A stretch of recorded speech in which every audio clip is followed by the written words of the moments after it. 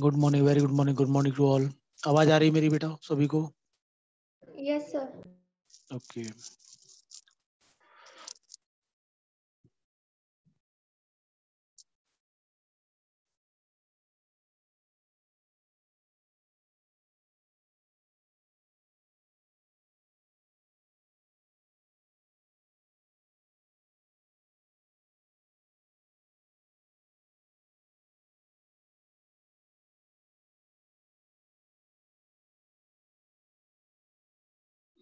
तो last turn पे बेटा हम लोगों ने पढ़ा था क्या? न्यूक्लियोफाइल इलेक्ट्रोफाइल है ना? इलेक्ट्रोफाइल क्या होते हैं? न्यूक्लियोफाइल क्या होते हैं? उसमें कोई डाउट नहीं होना चाहिए किसी को?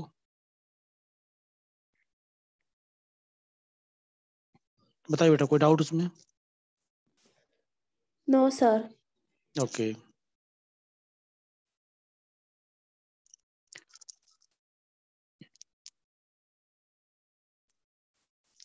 आज हम लोग उसी पे बात करेंगे इलेक्ट्रोफाइल न्यूक्लियोफाइल का कैसे यूज़ किया जाता है है ना इलेक्ट्रोफिल इलेक्ट्रोफाइल यानी बेस और न्यूक्लियोफिलिसिटी के बारे में व्हाट इज़ न्यूक्लियोफिलिसिटी कौन कौन से फैक्टर्स हैं जो आपको न्यूक्लियोफिलिसिटी को क्या करेगा अफेक्ट करेगा, है ना, उन सब के बारे में बात करेंगे अपन। और दूसरा हम बात करते हैं जो इलेक्ट्रोफाइल है न्यूक्लियोफाइल है, किस तरह से आपने स्टार्ट किया है ओके हाँ बिल्कुल बेटा इलेक्ट्रोफाइल आपको पता है कि इलेक्ट्रोफाइल क्या होता है? इलेक्ट्रोफाइल आपके पॉजिटिव होंगे या तो न्यूट्रल ठीक है ना? इलेक्ट्रोफाइल होते हैं इलेक्ट्रॉन लविंग होते हैं। इलेक्ट्रॉन लविंग का मतलब क्या होता है आपको पता है? कि इलेक्ट्रोफाइल पॉजिटिव या निगेटिव होगा तो वो कहाँ पे अटैक करेगा? जहाँ पे इलेक्ट्रॉन डेंसिटी ज़्यादा होगी। क्योंकि इलेक्ट्रोफाइल जो होते हैं, वो कैसे होते हैं? इलेक्ट्रॉन डेफिशिएंट होते हैं। उनके पास बैक एंड डी ऑर्बिटल होना चाहिए। जितने भी आपके कार्बोकैटायन है, सभी के सभी क्या है? बताइए इलेक्ट्रोफाइल है, ठीक है? और न्यूक्लियोफाइल जो है न्यूक्लियोफाइल क्या होते हैं? निगेटिव होते हैं या न्यूट्रल होंगे?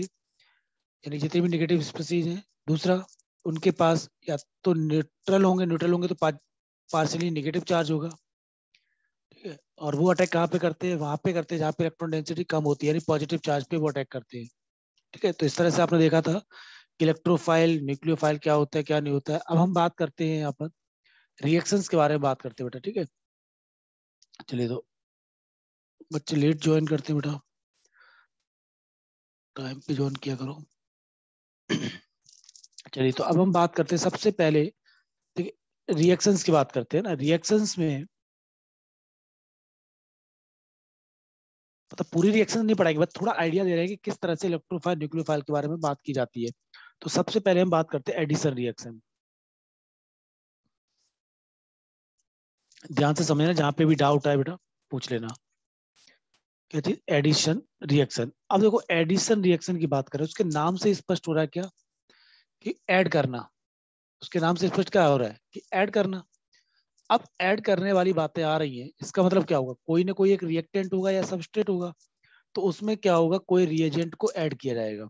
अब रिएजेंट कौन सा हो सकता है? इलेक्ट्रोफाइल हो सकता है और न्यूक्लियोफाइल हो सकता है।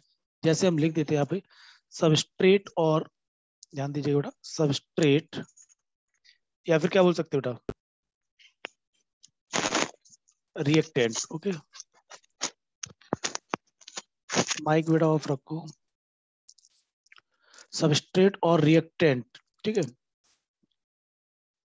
एंड रिएजेंट यानी सबस्ट्रेट या फिर रिएक्टेंट बोल सकते हैं, और reagent will add to form a product यानी जब दोनों को क्या करेंगे ऐड कर देंगे तो एक फाइनल प्रोडक्ट बनेगा, ठीक है ना? और उसी को हम क्या बोलते हैं? इज़ नॉन एज क्या बेटा? एडिशन रिएक्शन रिएक्शन मैकेनिज्म यहाँ पे बात नहीं करूँगा मैं। रिएक्शन मैकेनिज्म रिएक्शन जब चैप्टर स्टार्ट करेंगे तो वहीं पे बात करेंगे, ठीक है?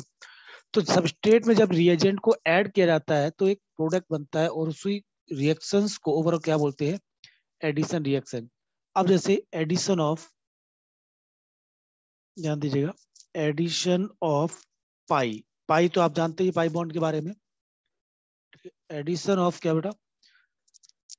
या ऐसे बोल सकते हैं एलिफेटिक है ना? किस तरह से? Aliphatic pi bond aliphatic pi bond. Aliphatic pi bond containing compound containing compound अब एलिफेटिक और समझ गए होंगे जो एरोमेटिक ना हो यानी aliphatic pi bond containing compound सोस क्या चाहिए बेटा? एडिशन रिएक्शन एडिशन रिएक्शन यानी ऐसे कंपाउंड कौन से? एलिफेटिक कंपाउंड जिसमें क्या कंटेन होगा? पाई बॉन्ड कंटेन होगा, वो आपके क्या करेंगे?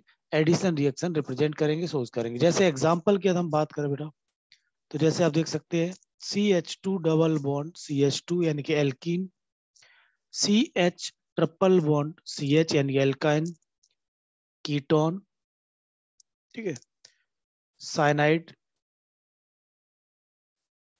एक्सेट्रा इनमें से कोई भी ये हो सकता है, ठीक है तो ये क्या करेंगे? एडिशन रिएक्शन को रिप्रेजेंट करेंगे। अब देखो, समझो एडिशन रिएक्शन का मतलब क्या होता है? समझना। जैसे मान लीजिएगा, मान लीजिए यहाँ पर हमने क्या किया? एक कोई भी रिएजेंट रिएक्टेंट ले रखा है। क्या ले रखा है बेटा? आर मतलब यहाँ पर रिएक्टेंट मान लिया अपनी तरफ़ से मैंने। रिएक्टेंट और यहाँ पर हमने कोई एक, मान लीजिए बी ले रखा है। बी मतलब कोई रिएक्टेंट है बेटा। रिएजेंट सॉरी क्लियर समझो ध्यान से। एक सबस्ट्रेट यानी रिएक्टेंट है, और बी यहाँ पर कोई रिएजेंट है। दोनों को क्या कर दिया गया? ऐड कर दिया गया सुटेबल कंडीशंस पर। तो ये दोनों क्या हो जाएँगे? ऐड हो जाएँगे। और ऐड होकर के क्या बना लेंगे? प्रोडक्ट बना लेंगे। क्या ये ऐड हो गया? देखो। और ये क्या बन गया हमारा? प्रोडक्ट ध्यान दीजिए ऐड होना। क्लियर हुआ कि नहीं? तो ऐड होने पे ही जो रिएक्शन बनती है that is called the addition reaction बोलो बेटा, कोई डाउट इसमें? किसी को भी? कोई भी डाउट आपके मन में आ रहा तो पूछो। नोट करिए इसको। नोट करो बेटा, कोई डाउट नहीं होना चाहिए।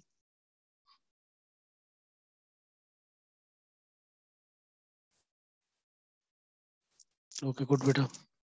बहुत ही आसान है एडिशन करना है, कुछ नया नहीं है इसमें।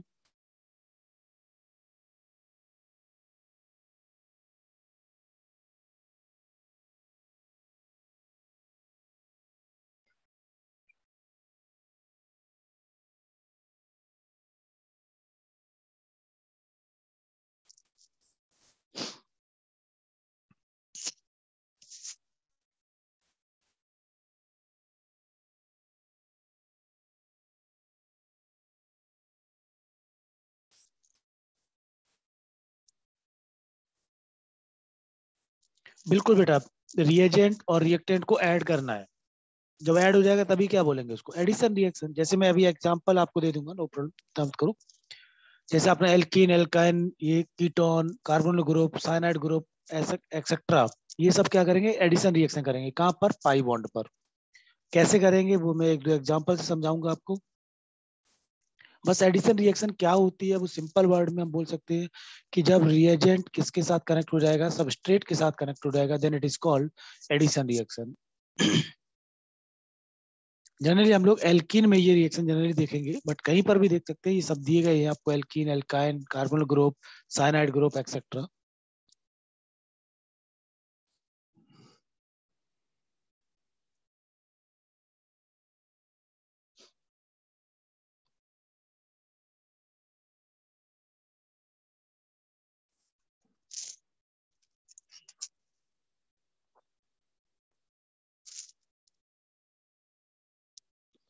done बेटा सभी का।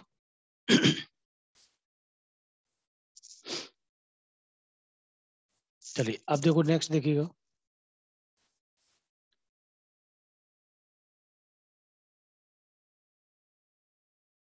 जैसे मान लो टाइप्स ऑफ़ एडिशन रिएक्शन के बारे में बात कर रहे हैं तो पहली जो एडिशन रिएक्शन है अपनी, वो मैं लेता हूँ इलेक्ट्रोफिलिक ध्यान दीजिए बेटा electrophilic addition reaction electrophilic addition reaction ध्यान से समझना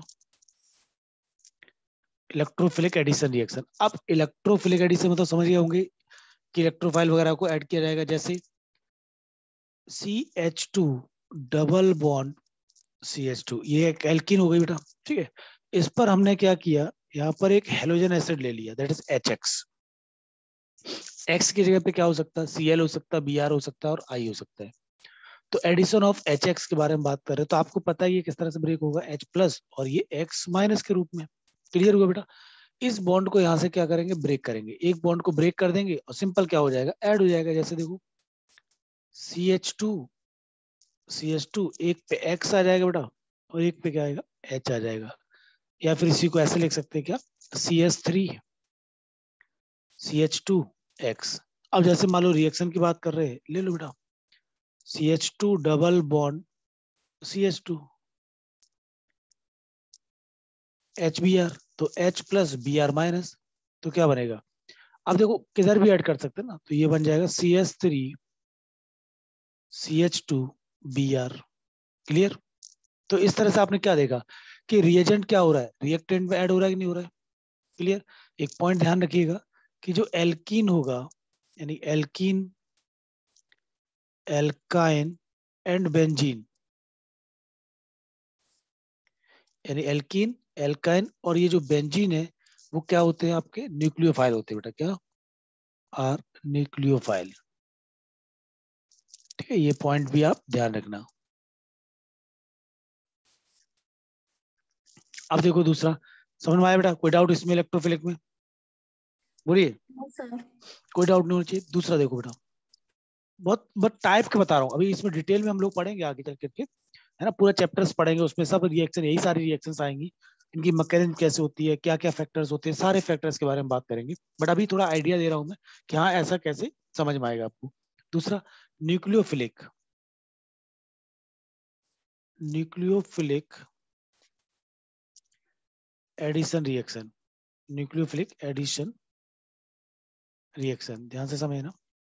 पहला क्या था? Electrophilic addition reaction and second one is nucleophilic addition reaction अब समझ के आ गया होगा न्यूक्लियोफिलिक एडिशन रिएक्शन की बात करें तो यहाँ पे हम शॉर्ट में इसको ऐसे भी लिख सकते हैं एन न्यूक्लियोफिलिक एडिशन रिएक्शन अब जब ध्यान देना कि जो न्यूक्लियोफिलिक एडिशन रिएक्शन होती है मोस्टली कार्बोनल कंपाउंड की होती है। मोस्टली किसकी होती है बेटा? कार्बोनल कंपाउंड कार्बोनल कंपाउंड मतलब जैसे एल्डिहाइड हो सकता है, कीटोन हो सकता है। मान लीजिए मैंने यहाँ पर सी डबल बॉन्ड ओ यानी कोई भी एक कार्बोनल कंपाउंड हमने ले लिया है। और यहाँ पर हमने क्या किया बेटा? H plus C N minus यानी एच सी एन की रिएक्शन कर दी। किसकी रिएक्शन कर दी? एच सी एन की रिएक्शन कर दी। अब आप समझो यहाँ पर क्या होगा कि ये तो आपके प्लस आई इफ़ेक्ट वाले हैं। तो जब ये इधर इलेक्ट्रॉन डोनेट करेंगे तो ये जो आप देख रहे हैं ऑक्सीजन वाला ये किधर मूव करेगा? इधर मूव कर देगा। तो जब इधर मूव करेगा तो ऑक्सीजन पे चार्ज कौन सा डेवलप हुआ? ऑक्सीजन पे चार्ज आ जाएगा बेटा नेगेटिव क्लियर अब नेगेटिव वाले के पास नेगेटिव वाला तो अट्रैक्ट होगा नहीं। तो H प्लस कहाँ पे जाएगा? बताइए O के पास जाएगा। बोलो बेटा। Yes, और सी एन माइनस कहाँ पे जाएगा? कार्बन के पास। तो के पास। क्या इस तरह से बन जाएगा? ध्यान देना। ओ OH और इधर ये क्या बन गया बेटा? सी एन क्लियर हुआ? बोलो। यस सर तो इस तरह से आपने देखा जो एडिशन हुई that is called the nucleophilic addition reaction मतलब जो एल्डिहाइड एक चैप्टर है हमारा ट्वेल्थ क्लास में कार्बन कंपाउंड करके यानी कि जिसमें कि एल्डिहाइड कीटोन एसिड ये सब पढ़ेंगे तो वो सब रिएक्शन कौन सी आती है? न्यूक्लियोफिलिक एडिशन रिएक्शन आती है। क्लियर हुआ? बोलो बेटा। यस चलिए नोट करो इसको।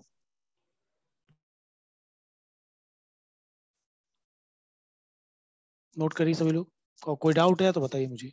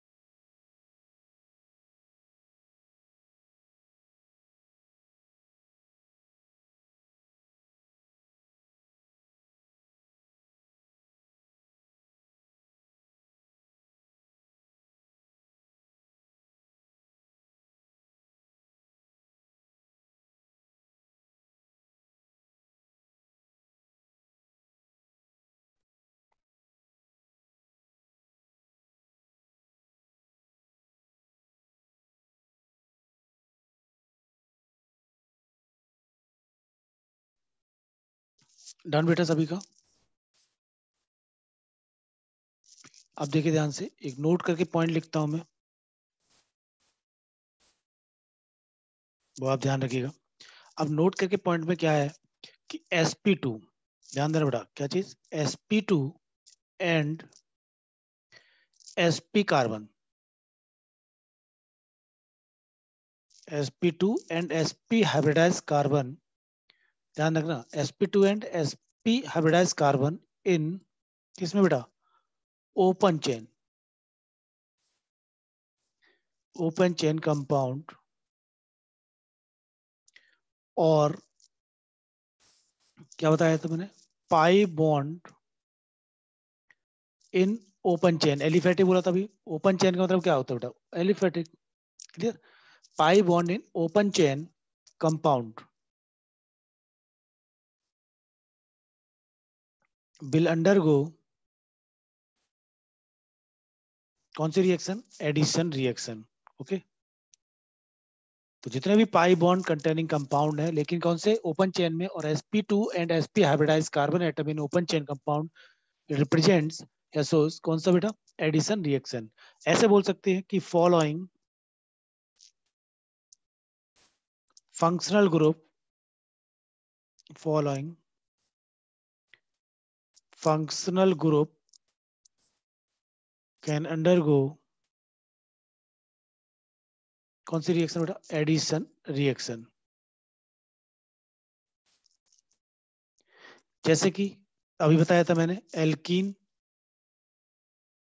it is alkene, this is alkyne carbonyl compound बहुत सारे, आपकी मर्ज़ी। Double bond C S three C triple bond N मान लीजिए जैसे हमने ये एग्जांपल ले लिया बेटा। एच बी आर तो ये क्या होगा? ये बॉन्ड टूट के एक तरफ़ H and other one is B R बहुत सारे क्वेश्चंस आप ले सकते हैं। बेटा सिंगल नहीं पाई बॉन्ड है ना सिंगल बॉन्ड नहीं बोल सकते। Both sir both single and double bond नहीं नहीं पाई बॉन्ड आसान से टूट जाता है ना बीग बॉन्ड होता है बेटा। ठीक है ना? पाई बॉन्ड क्या होता है? आसानी से ब्रेक हो जाता है। जैसे कि ये कंपाउंड की हमने बात की बेटा, ध्यान देना कि मान लो हमने ये लिया। ठीक है? ये क्या होता है? कलरलेस होता है। कैसा होता है? कलरलेस होता है। और यहाँ पर मान लीजिए रिएक्शन हमने दिखा दी बी और सी ये सब रिएक्शन हम लोग पढ़ेंगे आगे चल करके। तो यहाँ पे क्या होगा? डबल बॉन्ड जो पाई बॉन्ड आप देख रहे हैं, ये ब्रेक हो जाएगा और इस पोजीशन पे दोनों जगह पर क्या होगा? बी आर और बी आर आ जाएगा। क्लियर और इसका कलर जो होगा, ये भी कंपाउंड कैसा बेटा? कलरलेस लेकिन जो सी सी फोर होता है, ये कैसा होता है? ब्राउन कलर का होता है बेटा। कैसा होता है? ब्राउन कलर ध्यान रखिएगा, ठीक है ना? और ये भी कंपाउंड कैसा है? कलरलेस चलिए, ये कुछ पॉइंट्स हैं जो आप ध्यान रख सकते हैं नोट करिएगा इसको। फिर इसके बाद हम बात कर रहे हैं दूसरी रिएक्शन कौन सा? सब्सटीट्यूशन रिएक्शन के बारे में बात करेंगे। इसमें कोई भी डाउट है तो बताओ बेटा। कोई भी डाउट किसी के मन में कुछ भी डाउट आ रहा है तो बताइए। जो भी मैंने बताया है, उसी चीज़ को बस एग्ज़ाम्पल के थ्रू एक नोट करके मैंने पॉइंट दिखा दिया है। पहले भी देखो, यही चीज़ बताई थी एल्किन एल्काइन कीटोन है ना? तो इनमें से कोई भी सारे कंपाउंड हो सकते हैं। बट कैसे? ध्यान रखिएगा open chain compound open chain ना कि एरोमेटिक अब आप कहेंगे, सर, ये तो ओपन चेन तो नहीं है, लेकिन ये एरोमेटिक नहीं है ना बेटा? मैंने आपको लिखा है ना एलिफेटिक तो ये एलिफेटिक हो गया ओपन चेन ओपन चेन बोले या फिर एलिफेटिक बोले, ठीक है? एरोमेटिक नहीं लेना।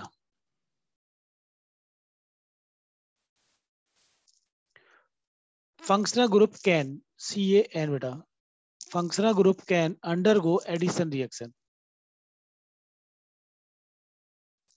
और किसी के मन में कोई भी डाउट है तो बताओ बेटा।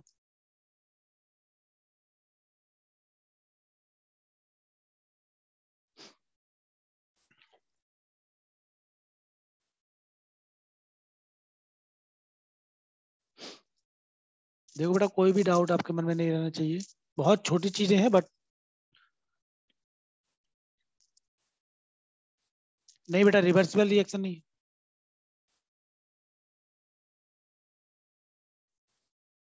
नहीं बेटा रिवर्स पर रिएक्शन की बात नहीं कर सकते। हैं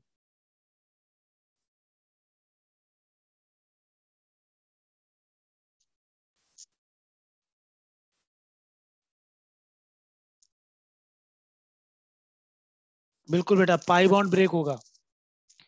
है ना? भाई, ये बताइए मुझे, कोई भी कंपाउंड पहले से न्यूट्रल है, ठीक है ना? यदि मान लो जब तक कोई बॉन्ड ब्रेक नहीं होगा तो भाई ऐड होने के लिए जगह भी तो मिलनी चाहिए बेटा उसे।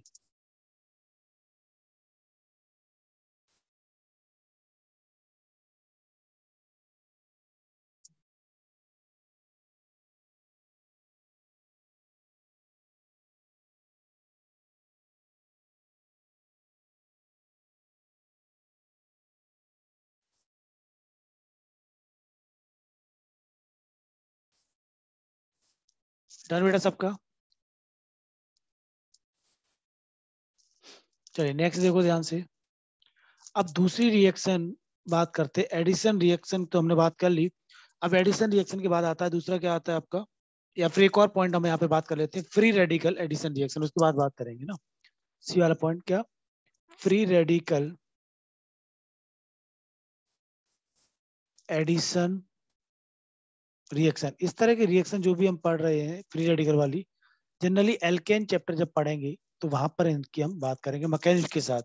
अब रेडिकल तो आपको पता ही है, जैसे मान लो suppose C H two double bond C H two ये क्या होगा बेटा एल्कीन जब ये पाई बॉन्ड ब्रेक होगा, दोनों की इलेक्ट्रॉन इलेक्ट्रोनिगेटिविटी बराबर है तो अपने अपने इलेक्ट्रॉन लेके क्या हो जाएँगे, ये अलग हो जाएँगे। जब ये इलेक्ट्रॉन अपने अपने लेकर अलग हुए तो अभी एक बॉन्ड तो है तो अब इनके पास क्या होगा? मान लीजिए हमने यहाँ पर ले लिया बेटा एच बी आर किसके केस में? In presence of peroxide peroxide बहुत सारे हो सकते हैं, जैसे कि आर डबल बॉन्ड ओ इस तरह से ओ ओ आर मतलब क्या होता है? परऑक्साइड का मतलब आपको पता है कि ऑक्सीजन ऑक्सीजन के बीच में जो बॉन्ड होगा that is called the peroxide और ऑक्सीजन पे चार्ज कितना होगा? माइनस वन देखा जाए तो। तो जब ये बॉन्ड ब्रेक होगा तो ध्यान दीजिए, अब ये बॉन्ड ब्रेक हुआ तो एच रेडिकल और बी आर रेडिकल हो जाएगा। तब ये बनेगा क्या? एक तरफ़ C H two C H two आ जाएगा और एक तरफ़ क्या जाएगा? बी आर अटैच हो जाएगा। दूसरी तरफ़ क्या बेटा? एच अटैच हो जाएगा और ये बन जाएगा अपना C S three C H two B R तो ये सेम रिएक्शन है बट क्या है? रेडिकल के टर्म्स में। इनकी मैकेनिज्म हम लोग पढ़ेंगे अलग से। समझ में आया? अब बात करते हैं कौन सी रिएक्शन सब्सटीट्यूशन रिएक्शन ध्यान से समझिएगा। सब्सटीट्यूशन रिएक्शन देखो, बहुत आसान है ये भी। सब्सटीट्यूशन रिएक्शन अब देखो इसके नाम से स्पष्ट हो रहा है क्या? कि सब्सटीट्यूशन रिएक्शन का मतलब क्या है? कि जब तक सब्सटीट्यूट होना, क्या हो रहा है? सब्सटीट्यूट होना। मतलब क्या होगा कि सब्सटीट्यूट होने के लिए तो बहुत ज़्यादा जो पावरफुल होगा वही तो जल्दी रेट जैसे मान लो आप क्या कर रहे हैं कि बस में सफ़र कर रहे हैं, ठीक है? तो बस में आपने देखा होगा कि सारी सीट फुल फुल है। लेकिन एक दूसरे के पास खड़े रहते हैं लोग। जैसे ही कोई बंदा क्या हुआ, उस सीट से हटा कहीं उतरने के लिए तो तुरंत क्या होता है? बहुत सारे अटैकिंग रिएजेंट होते हैं। मतलब कई सारे लोग बैठने के लिए तैयार होते हैं, लेकिन जो पास में होगा, जल्दी से क्या होगा? बैठ जाता है। तो वही चीज़ यहाँ पर है कि जो भी हमारा रिएक्शन होगी, यानी रिएक्टेंट होगा, उसमें से कुछ क्या होगा? अलग हटेगा और उसको कोई दूसरा सब्सटीट्यूट या फिर कंपाउंड एटम ग्रुप क्या करेगा? उसको रिप्लेस कर देगा और अब उस पोजीशन को ले लेगा। जैसे मान लीजिए हम बात करें ऐसे लिख सकते हैं। एटम और ग्रुप ध्यान दीजिए बेटा। एटम और ग्रुप रिप्लेस्ड बाई यानी कोई एटम या फिर कोई group replaced by other atom another atom और ग्रुप यानी किसी कंपाउंड में से क्या होगा? किसी एटम या ग्रुप को कोई दूसरा एटम और ग्रुप क्या करेगा? रिप्लेस करेगा. इज़ नॉन एज क्या बेटा? सब्सटीट्यूशन रिएक्शन सब्सटीट्यूशन रिएक्शन समझा? अब इसमें जैसे हमने वहाँ पे बताया था कि एल्किन वगैरह करते वैसे ही हम यहाँ पर भी बात करेंगे। जैसे मान लो फॉलोइंग कंपाउंड कुछ एग्जांपल ले लेते हैं। फॉलोइंग कंपाउंड फेवर या फिर रिप्रेजेंट फेवर्स कौन सा? सब्सटीट्यूशन रिएक्शन समझ में आ गया होगा, बहुत आसान है। जब तक भाई उसमें से कोई एटम और ग्रुप हटेगा ही नहीं तो दूसरा रखेगा कैसे? और हटाएगा कौन? जब उससे ज़्यादा पावरफुल होगा। ठीक है ना? सब्सटीट्यूशन रिएक्शन जैसे मान लो एल्केन की बात करें। कौन सा बेटा? एल्केन अब कोई भी एल्केन हो सकता है। मान लो हमने सी एच फोर ले लिया सिंपल ठीक है? अभी एग्ज़ाम्पल भी बताऊँगा। तो एल्केन आपका कौन सा रिएक्शन रिप्रेजेंट करेगा? सब्सटीट्यूशन रिएक्शन करेगा। एल्केल हालाइड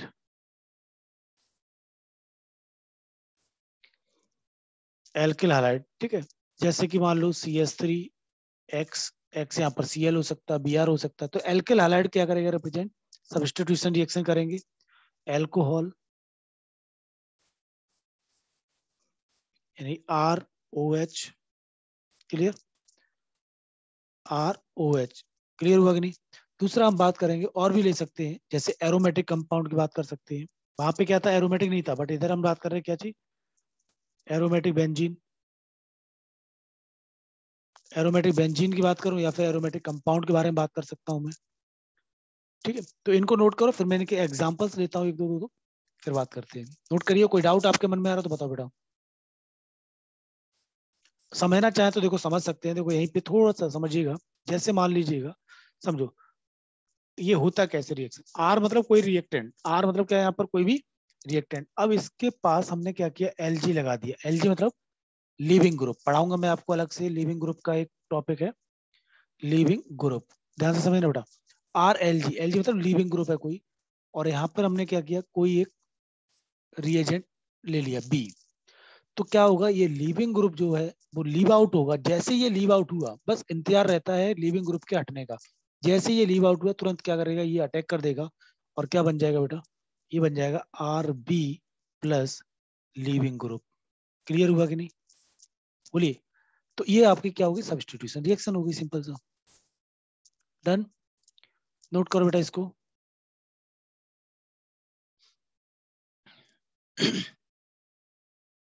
बहुत ही आसान है। बस सब्सटीट्यूट करने के लिए हमें पहले तो क्या करना लीव आउट करना और लिविंग ग्रुप वाली जो आप बोल रहे थे, सर लिविंग ग्रुप क्या होता क्या नहीं होता इसका मैं अलग से एक लेक्चर लूँगा लिविंग ग्रुप का। कि लिविंग ग्रुप क्या होते हैं, कैसे रिप्लेस होंगे, कौन सा जल्दी जाएगा, कौन सा अच्छा होता है, कौन सा बेकार होता है, सब चीज़ें, इन सब के बारे में बात करेंगे बेटा।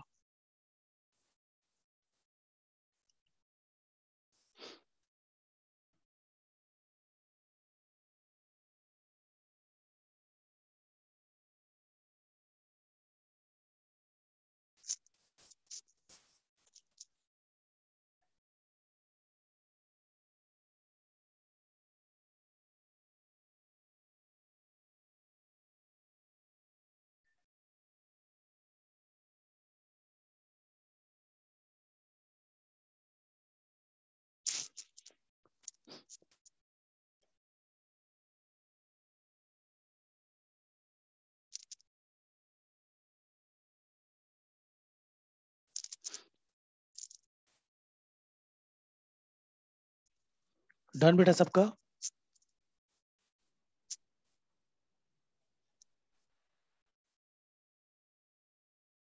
ये जो टॉपिक मैं ले रहा हूँ टाइप्स ऑफ़ रिएक्शन के बारे में बात कर रहा हूँ। सबसे पहले आपने क्या पढ़ा? एडिशन रिएक्शन पढ़ी। ठीक है ना? फिर उसके बाद सब्सटीट्यूशन रिएक्शन चल रहा है देन उसके बाद एलिमिनेशन की बात करेंगे। चार टाइप के रिएक्शन है, और ये जो आपने लिखे हैं एल्केन एल्केलाइड एल्कोहल ये सब चैप्टर है बेटा आगे चल के हमारे ट्वेल्थ क्लास में।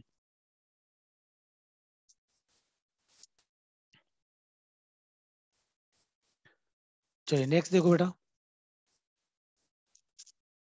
अब जैसे इसी में हम बात करें टाइप्स की बात करें तो सब्सटीट्यूशन में भी अलग अलग टाइप्स की बात कर रहे हैं। जैसे मान लो, पहले हमने लिया इलेक्ट्रोफिलिक ना सब्सटीट्यूशन इलेक्ट्रोफिलिक सब्सटीट्यूशन समय ना बेटा ध्यान से।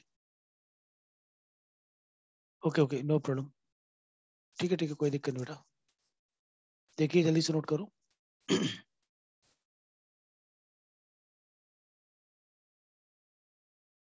कोई भी डाउट हो पूछिए बेटा ना। सर यहाँ सब्सटीट्यूशन रिएक्शन में एरोमेटिक बेंजीन भी होगा। हाँ बिल्कुल बेटा एरोमेटिक कंपाउंड्स आएँगे यहाँ पर। एडिशन में नहीं आते थे यहाँ पे आएँगे। नहीं एडिशन में एरोमेटिक नहीं बेटा कौन से आते थे? एलिफेटिक हाँ। यानी यहाँ पर एरोमेटिक कंपाउंड भी आपके रिएक्शन कर सकते हैं। एरोमेटिक बेंजीन बोलते हैं या फिर एरोमेटिक कंपाउंड बोल सकते हैं आप। बेंजीन क्यों बोला? क्योंकि बेंजीन कहीं ना कहीं कनेक्टेड होगी उससे। अभी मैं एग्जांपल भी दूँगा आपको।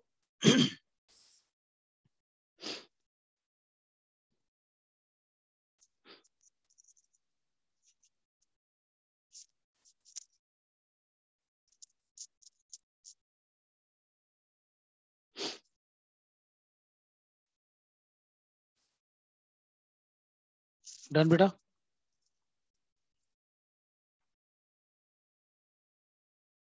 चैतन्य रिप्लाई करो।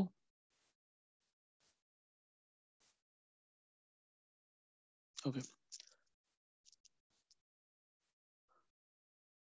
चलिए बेटा, अब देखिए ध्यान से। अब इसके बाद हम बात कर रहे हैं टाइप्स की बात जैसे इलेक्ट्रोफिलिक सब्सटीट्यूशन रिएक्शन ठीक है? इलेक्ट्रोफिलिक सब्सटीट्यूशन रिएक्शन जैसे मान लीजिए अब इलेक्ट्रोफिलिक मतलब बोला इसका मतलब क्या हो रहा है बेटा? यानी सब्सटीट्यूट किसका सब्सटीट्यूट होगा वहाँ पे? किसको रखा जाएगा? इलेक्ट्रोफाइल को। जैसे मान लो जैसे मान लीजिए बेटा ध्यान से समझना। ध्यान से समझो कोई भी डाउट हो बताना। ये बेंजी रिंग है अब ये बेंजी रिंग है यहाँ पर तो यहाँ पर हाइड्रोजन होगा ही होगा। इधर हाइड्रोजन ये सब जगह क्योंकि बेंजीन का फॉर्मूला क्या होता है? सी सिक्स एच सिक्स अब क्या होगा कि किसी भी एटम या ग्रुप को अटैच करने के लिए सब्सटीट्यूट करने के लिए, भाई कोई तो एटम वहाँ से हटेगा, तभी तो होगा। नहीं तो कार्बन की बैलेंस क्या हो जाएगी? ज़्यादा हो जाएगी। अभी आपको बताया था मैंने कि एक क्या होगा? लिविंग ग्रुप होगा, जो लीव आउट होगा, तभी तो कोई ना कोई वहाँ पे अटैच होगा। तो अब यहाँ पे मान लो इस बेंजी रिंग पे कोई इलेक्ट्रोफाइल है सपोज़ मैं इलेक्ट्रोफाइल को ई e प्लस से दिखा देता हूँ। इलेक्ट्रोफाइल क्या ई प्लस तो अब मान लो यहाँ से ये जो एच आप देख रहे हैं, ये मान लो एच प्लस गायब हुआ। जब ये एच प्लस गायब होगा तो कार्बन के पास चार्ज कौन सा आ जाएगा बेटा? निगेटिव आ जाएगा। और उस निगेटिव पे कौन अटैच होगा? ये इलेक्ट्रोफाइल अटैक हो जाएगा। तो क्या इस तरह से बन जाएगा? ध्यान देना। बोलिए। और ये H प्लस क्या होगा? गायब हो जाएगा। अलग हट जाएगा। भाई, यहाँ से H प्लस हटा तो H प्लस हटेगा तो माइनस आएगा। और माइनस आया तो इलेक्ट्रॉन डेंसिटी आ गई, इलेक्ट्रॉन डेंसिटी आ गई तो इलेक्ट्रोफाइल यहाँ पे क्या कर देगा? अटैक कर देगा। क्लियर तो ये क्या हो गया? आपका इलेक्ट्रोफिलिक सब्सटीट्यूशन रिएक्शन हो गई। इसी तरह से दूसरी रिएक्शन में लेता हूँ, उसी की इलेक्ट्रोफिलिक सब्सटीट्यूशन में ही। क्या छोड़ा nucleophilic nucleophilic substitution reaction nucleophilic substitution reaction अब इसका मतलब क्या है कि कौन सब्सटीट्यूट होगा? न्यूक्लियोफाइल होगा। जैसे मान लीजिएगा आर एक्स एल्किल हैलाइड ले लिया बेटा मैंने। क्या लिया एल्किल हैलाइड और एल्किल हैलाइड पर अटैक करने कौन आ रहा है? न्यूक्लियोफाइल कोई भी। एनयू मतलब न्यूक्लियोफाइल तो ये जो आपका एक्स है, ये लिविंग ग्रुप है और ये लिविंग ग्रुप जैसे लीव आउट हुआ तो एक्स माइनस हो जाएगा और न्यूक्लियोफाइल क्या करेगा? इस वाले पे अटैक कर देगा। तो क्या बन जाएगा बेटा ये? R N U plus X minus बोलिए क्लियर हुआ? यस सर बोलो बेटा कोई डाउट इसमें? तो देख रहे न्यूक्लियोफिलिक सब्स्टिट्यूशन रिएक्शन हमने इस तरह से कर दी। दूसरा हम बात करते third free radical substitution free radical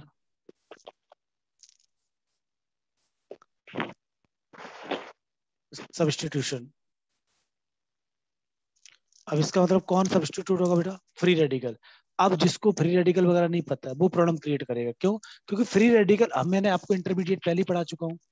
हाँ बेटा सर करके नहीं, बिल्कुल, देखो बेटा फ़र्स्ट वाले में कोई प्रॉब्लम नहीं है, समझिएगा द्वारा कोई दिक्कत नहीं। देखो यहाँ पे क्या है कि यहाँ से बेंजीन है भाई, ठीक है? इसकी कार्बन की बैलेंसी कार्बन सब कुछ फुलफिल है।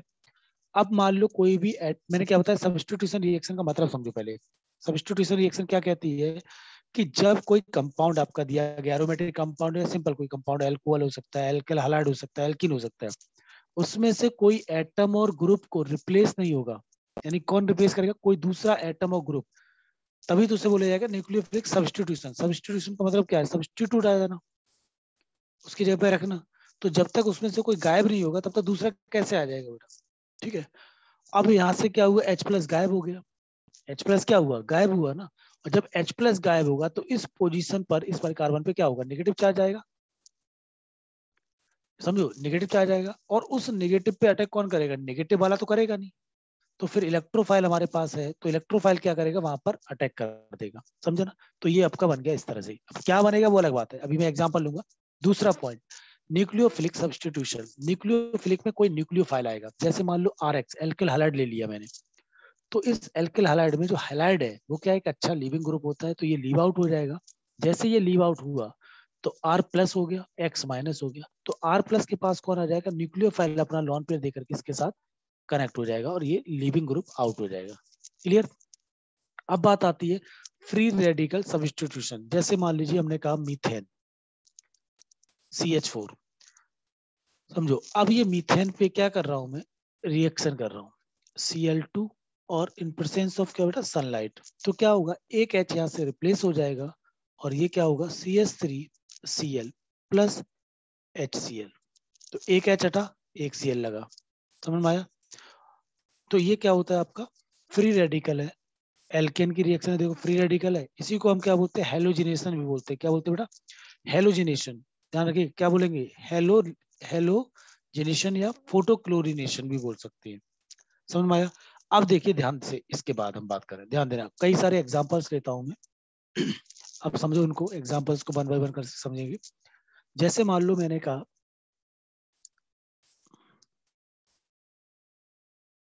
हाँ बिल्कुल बेटा लास्ट वाला कोई दिक्कत नहीं नो प्रॉब्लम फ्री रेडिकल में देखो, जैसे कोई एल्केन है, उस एल्केन में क्या करेंगे बेटा? किसी C L two B R two I two की रिएक्शन करा रहे हैं इन प्रेजेंस ऑफ़ सनलाइट ठीक है? तो यहाँ पे क्या होगा? इस तरह से ध्यान दो। सी एच सी एच और ये C H this one C H C H bond है। तो ये वालो वाला बॉन्ड ब्रेक हुआ बेटा। जब बॉन्ड ब्रेक होगा तो एक एच हटेगा और एक सी एल यहाँ पे क्या हो जाएगा? अटैच हो जाएगा। तो देखो सी एल आ गया। और वो एच किसके साथ चला जाएगा? दूसरे सी एल के पास चला जाएगा। समझे ना? ये और इसकी मैकेनिज्म की बात करेंगे। मैकेनिज्म भी हम समझाएँगे। चिंता मत करो। सारी मैकेनिज्म बताएँगे आपको। जितनी भी रिएक्शन यहाँ पर हो रही है, इन सब की मैकेनिज्म है अपने पास। ठीक है? लेकिन चैप्टर के साथ, जब पढ़ाएँगे तब। तो जैसे देखो एग्ज़ाम्पल की बात करें। अभी मान लो हमने कहा, यहाँ पर कोई भी हमने मान लो कंपाउंड ले लिया आर सी एल ध्यान देना आर सी एल समझो बेटा? आर सी एल या फिर कुछ और ले लेता हूँ मैं एल्कोहल ले लेता हूँ मान लीजिए सपोज़ मान लो क्या लिया मैंने? आर ओ एच ले रखा है। आर ओ एच मतलब एल्कोहल लिया है। और इस एल्कोहल की रिएक्शन मैंने किससे करा दी बेटा? पीसीएल फाइव नाम का एक कैटलिस्ट ले लिया या रिएजेंट ले लिया। पीसीएल फाइव से रिएक्शन करा दी। तो क्या होगा, ये OH जो है ना, ये वाला बॉन्ड ब्रेक होकर के OH एक लिविंग ग्रुप है तो ये OH क्या होगा? लीव आउट हो जाएगा। और जैसे ही OH लीव आउट हो जाएगा तो यहाँ पीसीएल से एक सीएल क्या करेगा? आर के पास कनेक्ट हो जाएगा। आर सी एल प्लस ध्यान दीजिएगा, क्या बन जाएगा? आर सी एल बन जाएगा plus P O C L three बन जाएगा प्लस क्या बन जाएगा बेटा? एच सी एल बन जाएगा। क्या बनेगा? एच सी एल तो हमारा प्रोडक्ट मेन प्रोडक्ट कौन सा बना? आर सी एल ये सब रिएक्शन हम लोग पढ़ेंगे। एक चैप्टर है जिसका नाम है एल्कोहल या एल्किल हाइलाइट दोनों में। ठीक है एल्कोहल की रिएक्शन पीसीएल फाइव से बनाएँगे तो क्या बनेगा बेटा? R C L alkyl halide बनेगा। ठीक है, इसी तरह से मान लो सपोज़ हमने यहाँ पर आर सी एल ले लिया, यानी कि एल्किल क्लोराइड ले लिया। अब इसकी रिएक्शन हमने एक्वस के से करा दी। क्या करा दी बेटा? एक्वस के तो अब के क्या करेगा? के प्लस ओ एच माइनस तो यहाँ से सी एल जैसे गायब हुआ ओ एच माइनस एक अच्छा खासा अटैकिंग रिएजेंट है तो क्या करेगा? इसके साथ कनेक्ट हो जाएगा तो क्या बन जाएगा? आर ओ एच बन जाएगा बेटा। प्लस क्या बनेगा? के सी एल तो मेन प्रोडक्ट कौन सा बना? आर ओ एच तो देख रहे हो, यहाँ पर इस तरह से रिएक्शन हो रही है, लेकिन हमने स्टार्टिंग क्या बताया कि कौन कौन सी रिएक्शन होती है तो वो आपको आना चाहिए। कौन हट रहा है, कौन यहाँ पे अटैच हो रहा है, थोड़ा बहुत आइडिया आपको आना चाहिए। जैसे मान लो और रिएक्शन लेता हूँ मैं। मान लीजिए सपोज़ हमने यहाँ पर एक कोई एल्किन ले रखी है और यहाँ पर एक रिएजेंट ले रखा है हमने N B S N B S का मतलब क्या होता है समझिएगा। एन ब्रोमो सक्सीनामाइड इसका नाम है बेटा, है ना? एनबीएस जब रिएक्शन आएगी हमारे पेपर में कहीं पर भी, हमें एनबीएस ही लिखा मिलेगा। क्या मिलेगा? एनबीएस अब क्या होता है, ये रिएजेंट का नाम है एन ब्रोमो सक्सीनामाइड अब ये करता क्या है? देखो, ये वाला जो डबल बॉन्ड है, ध्यान देना, ये डबल बॉन्ड के नेक्स्ट वाला जो है अल्फ़ा पोजिशन इधर भी क्या है अल्फ़ा पोजिशन तो ये डबल बॉन्ड के नेक्स्ट वाला जो कार्बन होगा, यानी कि अल्फ़ा कार्बन उस पर ये अटैक कर देता है कौन? बी आर एन ब्रोमो यानी एक स्पेशल रिएजेंट है, ये स्पेशल रिएक्शन के लिए, ध्यान रखिएगा. तो क्या करेगा ये? इस अल्फ़ा पोजीशन से एक एच हटा देगा। अब इधर से भी हटा सकते हो, आप इधर से भी हटा सकते हो। और क्या कनेक्ट हो जाएगा आके बी आर कनेक्ट हो जाएगा। समझ आया तो ये एल्कीन में आप इस तरह से आप देख सकते हैं। समझ अल्फ़ा हाइड्रोजन को क्या करेगा? रिप्लेस किया जाएगा। किसके द्वारा? बाई ब्रोमीन के द्वारा। ध्यान देना। अल्फ़ा हाइड्रोजन को यहाँ से क्या कर रहे हैं? ब्रोमीन के द्वारा रिप्लेस कर रहे हैं। ठीक है? और ये रिएक्शन कैसी है? फ्री रेडिकल में आ जाती है। कौन से में आ जाती है? फ्री रेडिकल मैकेनिज्म में। यहाँ पे लिख भी सकते हैं। इन दिस रिएक्शन में लिख देता हूँ। In this reaction alpha hydrogen कौन सा बेटा? Alpha hydrogen is replaced alpha hydrogen is replaced by bromine by कौन सा बेटा? Free radical mechanism free radical mechanism free radical mechanism यानी जब हम एल्किन चैप्टर पढ़ेंगे तो वहाँ पे ये मैकेनिज्म भी पढ़ाऊँगा आपको और ये एग्जांपल भी दोबारा से सब चीज़ बताएँगे। बस एक थोड़ा सा आइडिया दे रहा हूँ कि ऐसे ऐसे टाइप की रिएक्शंस होती हैं। गॉट बेटा? बोले कोई डाउट इसमें है तो बताइए मुझे। नोट करिए अदरवाइज़ कोई भी डाउट आपके मन में आ रहा तो पूछो, बेटा।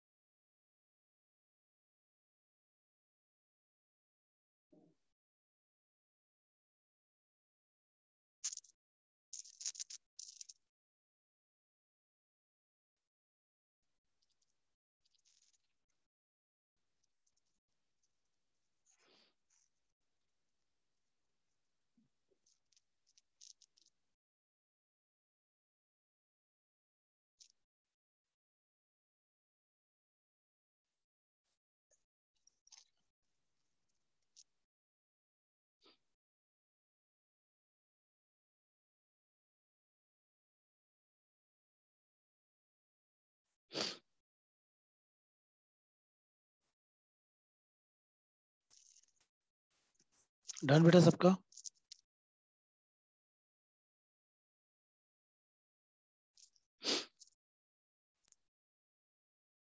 चलिए, अब देखो नेक्स्ट टर्म पे हम बात कर रहे हैं। एक दो एग्जांपल लेते हैं, आप ट्राई करना। जैसे मान लो मैंने कहा, ध्यान देना। मान लो ये हमने एक बेंजीन रिंग ले ली, और इधर हमने क्या लगा दिया बेटा? सी एस थ्री और इसकी रिएक्शन अभी मैंने क्या बोला? N B S N bromo succinimide यानी रिएजेंट का नाम है, उसके साथ रिएक्शन दे दी। मान लीजिए सपोज़ और रिएक्शन ले ली मैंने। इधर आपका सी एस थ्री क्लियर बेटा? एन बी एस यानी कि एन ब्रोमो सक्सीनामाइड तो देखो कैसे बनेगा। अब यहाँ पर ये देखो डबल बॉन्ड आप देख रहे हैं। क्लियर तो उससे नेक्स्ट वाला कार्बन क्या है बेटा? अल्फ़ा तो इसके पास अल्फ़ा हाइड्रोजन है। तो यहाँ से अल्फ़ा हाइड्रोजन को क्या करेंगे हम? रिप्लेस कर देंगे। जैसे आपने अल्फ़ा हाइड्रोजन रिप्लेस किया तो क्या बनेगा? देखो ध्यान से। C H two B R बिल्कुल वेरी गुड कर बेटा। C H two B R समझा बहुत आसान है। इधर देखो ये पोजीशन आपका देख रहे हो। क्लियर हुआ? ये क्या बेटा? अल्फ़ा है। तो यहाँ से आप क्या करेंगे? गायब कर देंगे यहाँ पर। तो ये बन जाएगा आपका। Double bond C S three तो रहेगा ही रहेगा और यहाँ पे क्या आ जाएगा? बी आर आ जाएगा। क्लियर हुआ? बोलो बेटा। बहुत आसान है। देख रहे हो ना? अब इसके बाद नेक्स्ट रिएक्शन देखिएगा। थर्ड रिएक्शन हमारी जो है, वो कौन सी है? एलिमिनेशन रिएक्शन एलिमिनेशन रिएक्शन अब इसका मतलब क्या हो रहा है? यहाँ पर कोई ना कोई एलिमिनेशन होगा। एलिमिनेशन रिएक्शन अब इस एलिमिनेशन रिएक्शन की बात करें बेटा तो क्या होगा? Removal of removal of two atom removal of two atom और ग्रुप यानी दो एटम का या फिर किसी ग्रुप की बात करें। रिमूवल ऑफ़ टू एटम और टू ग्रुप ठीक है? फ्रॉम कहा से? एडजेसेंट ध्यान दीजिएगा। एडजेसेंट कार्बन एटम यानी रिमूवल ऑफ़ टू एटम और group from adjacent carbon to form carbon atom to form तो जब रिमूव होगा तो क्या बनेगा भाई? To form alkene to form alkene और क्या चीज़? एल्काइन तो इसका मतलब समझ रहे हो? जब एल्किन चैप्टर पढ़ेंगे और एल्काइन चैप्टर पढ़ेंगे तो वहाँ पे कौन सी रिएक्शन हम लोग करेंगे? एलिमिनेशन रिएक्शन और वहाँ पे उसकी मैकेनिज्म भी पढ़ेंगे। किस तरह से? क्या होता है? जैसे मान लीजिए, समझिए ध्यान से कि मान लो सपोज़ हमने यहाँ पर एक इस तरह से कंपाउंड लिया बेटा। ठीक है? इधर हाइड्रोजन ले लिया, इधर सी लिया। तो अब यहाँ पर जो रिएजेंट लिया हमने, क्या लिया बेटा? एल्कोहलिक एएलसी मतलब एल्कोहलिक क्या चीज़? के ओ एच एल्कोहलिक के ओ एच ले लिया। इसका काम क्या होता है बेटा? एएलसी का मतलब होता है एल्कोहलिक में लिख देता हूँ। एल्कोहलिक क्लियर एएलसी जैसे डायल्यूट को क्या लेते हैं? दिल डी आई एल है ना डॉट तो एल्कोहलिक क्यूएच का काम क्या है कि यहाँ से क्या करेगा? दो एटम और दो ग्रुप को क्या करेगा? निकाल देगा। क्लियर तो इन दोनों को गायब किया। तो जब ये दोनों गायब होंगे बेटा तो यहाँ से क्या होगा? ये वाला पॉइंट और ये वाला पॉइंट दो दोनों क्या करेंगे? भाई, मान लो एच प्लस गया, यहाँ से सी गया तो प्लस और माइनस मिलके क्या कर लेंगे? एक बॉन्ड बना लेंगे। तो इस तरह से ये बॉन्ड यहाँ पर एक बॉन्ड बन जाएगा और ये होती है एल्किन समझ में आया? बोलो बेटा। और भी एग्जाम्पल्स ले सकते हैं। जैसे मान लो सपोज़ दूसरा एग्ज़ाम्पल मान लो सपोज़ हमने यहाँ पर एक इस तरह से लिया। और इधर हमने ओ OH ले रखा बेटा। और इधर आप देख रहे हैं। तो फिर क्या चीज़ हमने, मान लीजिए हमने यहाँ पर कंसंट्रेटेड H2SO4 अब कंसंट्रेटेड H2SO4 क्या है? एक डिहाइड्रेटिंग एजेंट है। और डिहाइड्रेटिंग एजेंट का काम क्या होता है बेटा? पानी को बाहर करना। डिहाइड्रेटिंग एजेंट का काम क्या होता है? पानी को बाहर करना। तो ये क्या करेगा? इसके पास में हाइड्रोजन है यहाँ पर। तो ये क्या करेगा? ओ एच यहाँ से ले लेगा और एच यहाँ से ले लेगा। तो वाटर क्या हुआ? रिमूव हुआ। क्या बन जाएगा ये इस तरह से? समझ में बेटा? एक एल्किन बन गया। तो H2SO4 क्या है? एक डिहाइड्रेटिंग एजेंट है। और डिहाइड्रेटिंग एजेंट का मतलब क्या होता है? डिहाइड्रेटिंग एजेंट क्या काम करता है? वाटर को रिमूव करता है। समझ में आया बेटा?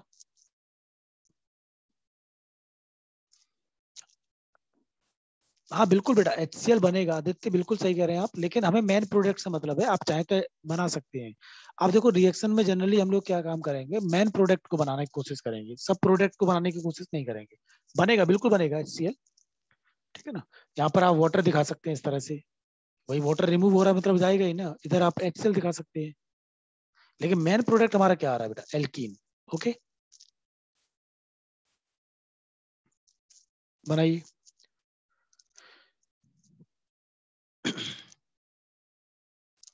और भी एग्जांपल ले लूँगा मैं। पहले ये आप नोट करो उसके बाद बताता हूँ। कोई डाउट नहीं होना चाहिए बेटा किसी को भी? सर वो एनबीएस के सेकंड वाले एग्जांपल में C H three B R क्यों रह रहा है? पहले C H two B R कौन सा बेटा? ये वाला ना? एनबीएस सेकंड वाला सेकंड वाले। में देखो बेटा ये देखो डबल बॉन्ड से नेक्स्ट वाला कार्बन कौन सा एस ये क्या चीज़ है? अल्फ़ा पोजीशन है। तो बेटा अल्फ़ा पोजीशन में कितने हाइड्रोजन है? एक ही तो है। तो इस अल्फ़ा हाइड्रोजन को निकाल करके तो वहाँ पर पोजीशन कौन की आती है? बी आर की आती है। समझे ना? और यहाँ पे अल्फ़ा हाइड्रोजन कहाँ पे पहुँच रहा था? ये वाला पहुँच रहा था। इससे एक एच हाँ, निकाला था आप, आप क्या सोच रहे हो? आप उल्टा समझ रहे हो ना? समझ रहे हो? हाँ। हाँ हाँ, हाँ। गुड उसको अल्फ़ा समझ लिया। बिल्कुल बिल्कुल। हाँ यही गलती है छोटी मोटी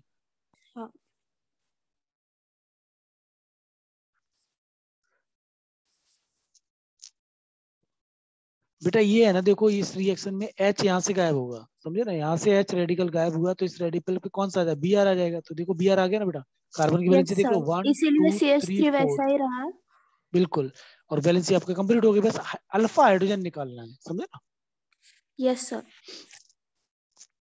अब आप सोच रहे होंगे कुछ लोगों के मन में आ रहा हो तो हो सकता है वो सोच रहे होंगे सर इधर भी तो हाइड्रोजन है।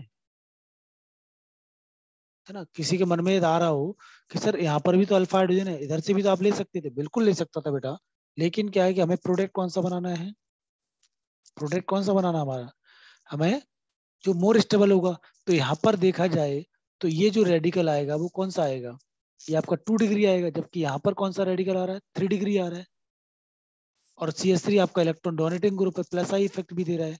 तो इसका मतलब इसकी स्टेबिलिटी क्या हो जाएगी? बढ़ जाएगी। समझा? तो इस वजह से हमारा मेन प्रोडक्ट ये बन जाएगा। तो ये सब चीज़ें हम लोग करेंगे, चिंता मत करो। जब चैप्टर्स लेंगे एल्किन चैप्टर एल्केन चैप्टर है ना? एल्कोहल फिनॉल एक्सेट्रा उसी में सब रिएक्शन मैकेनिज्म के साथ ही पढ़ाएँगे। इसीलिए मैंने आपको क्या बोला कि रिएक्शन मैकेनिज्म हम लोग अलग से नहीं लेंगे, क्योंकि अलग से लिया, फिर हमें दोबारा से चैप्टर में पढ़ानी पड़ेगी तो डबल मेहनत हो जाएगी बेटा। है ना? तो क्या करेंगे? जहाँ पे चैप्टर होगा हमारा वहीं पे हम उस रिएक्शन को सॉल्व आउट करेंगे और मैकेनिक भी पढ़ेंगे, जिससे कि आपको और ज़्यादा अच्छे से समझ में आएगी क्लियर चीज़ें होंगी। बट अभी थोड़ा सा आइडिया लगना चाहिए आपको कि हाँ भाई, किस तरह से क्या होता है। बहुत बेसिक चीज़ें हैं और अभी नहीं समझेंगे तो फिर मतलब नहीं है बाकी चीज़ें।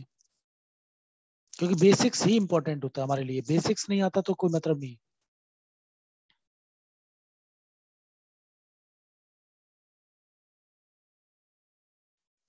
बेटा सीओ एन है ना? सीओ एन सी होता है ये, ना?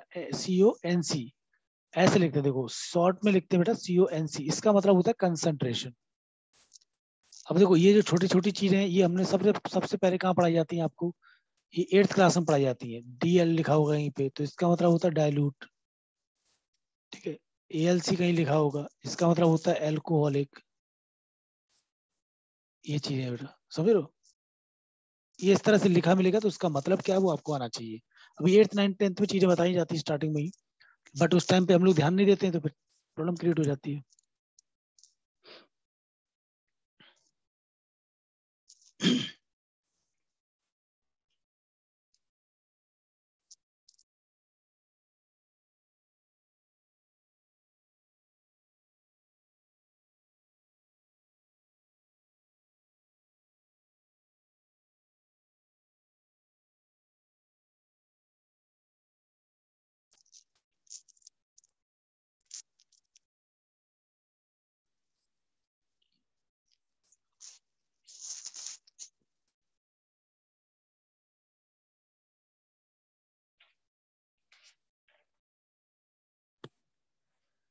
सर ये कॉन्सेंट्रेटेड H2SO4 वाटर मॉलिक्यूल को बाहर निकाल बिल्कुल बेटा डिहाइड्रेटिंग एजेंट है वो।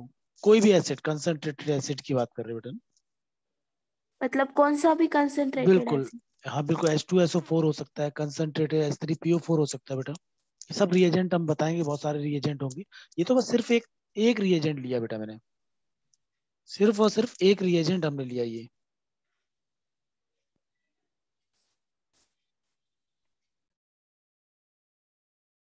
और ये सिर्फ़ इसलिए आपको पढ़ाया मैंने कि आप समझ सकें कि इलेक्ट्रोफाइल न्यूक्लियोफाइल क्या होता है कैसे अटैक करता है समझे ना? Yes, जो हम लोगों ने पढ़ा था कि इलेक्ट्रोफाइल क्या होता है न्यूक्लियोफाइल क्या होता है उन सब के बारे में बेटा।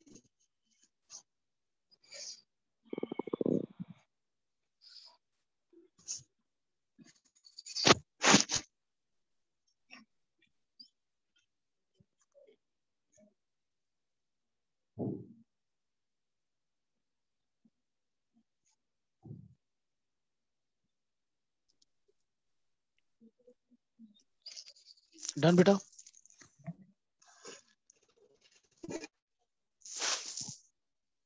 चलिए, अब देखो ध्यान से, अब इलेक्ट्रोफाइल और न्यूक्लियोफाइल को ही हम आगे बात करते हैं।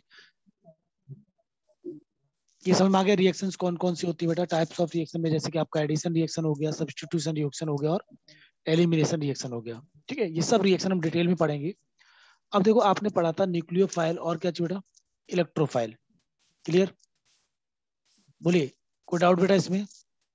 तो आपने पढ़ा था इलेक्ट्रोफाइल और न्यूक्लियोफाइल अब एक टर्म आता है क्या चीज़? कि जो न्यूक्लियोफाइल था, ध्यान देना, मैंने क्या बात की थी? न्यूक्लियोफाइल के बारे में बात कर रहा हूँ। कि जो न्यूक्लियोफाइल था, क्योंकि न्यूक्लियोफिलिसिटी के बारे में बात करूँगा मैं। न्यूक्लियो एंड बेसिसिटी अब जो हमारा टॉपिक है बेटा, क्या है? न्यूक्लियोफिलिसिटी एंड बेसिसिटी जिसमें बच्चे कंफ्यूज रहते हैं, वो समझिए क्या कैसे। हम लोगों ने बात किया था न्यूक्लियोफाइल बेटा माइक को ऑफ़ करो। कुछ डाउट है तो पूछो। ठीक है न्यूक्लियोफाइल और दूसरा हमने बात किसके बारे में की थी बेटा? बेस के बारे में। अब बात कर रहे हैं किसके बेस के बारे में।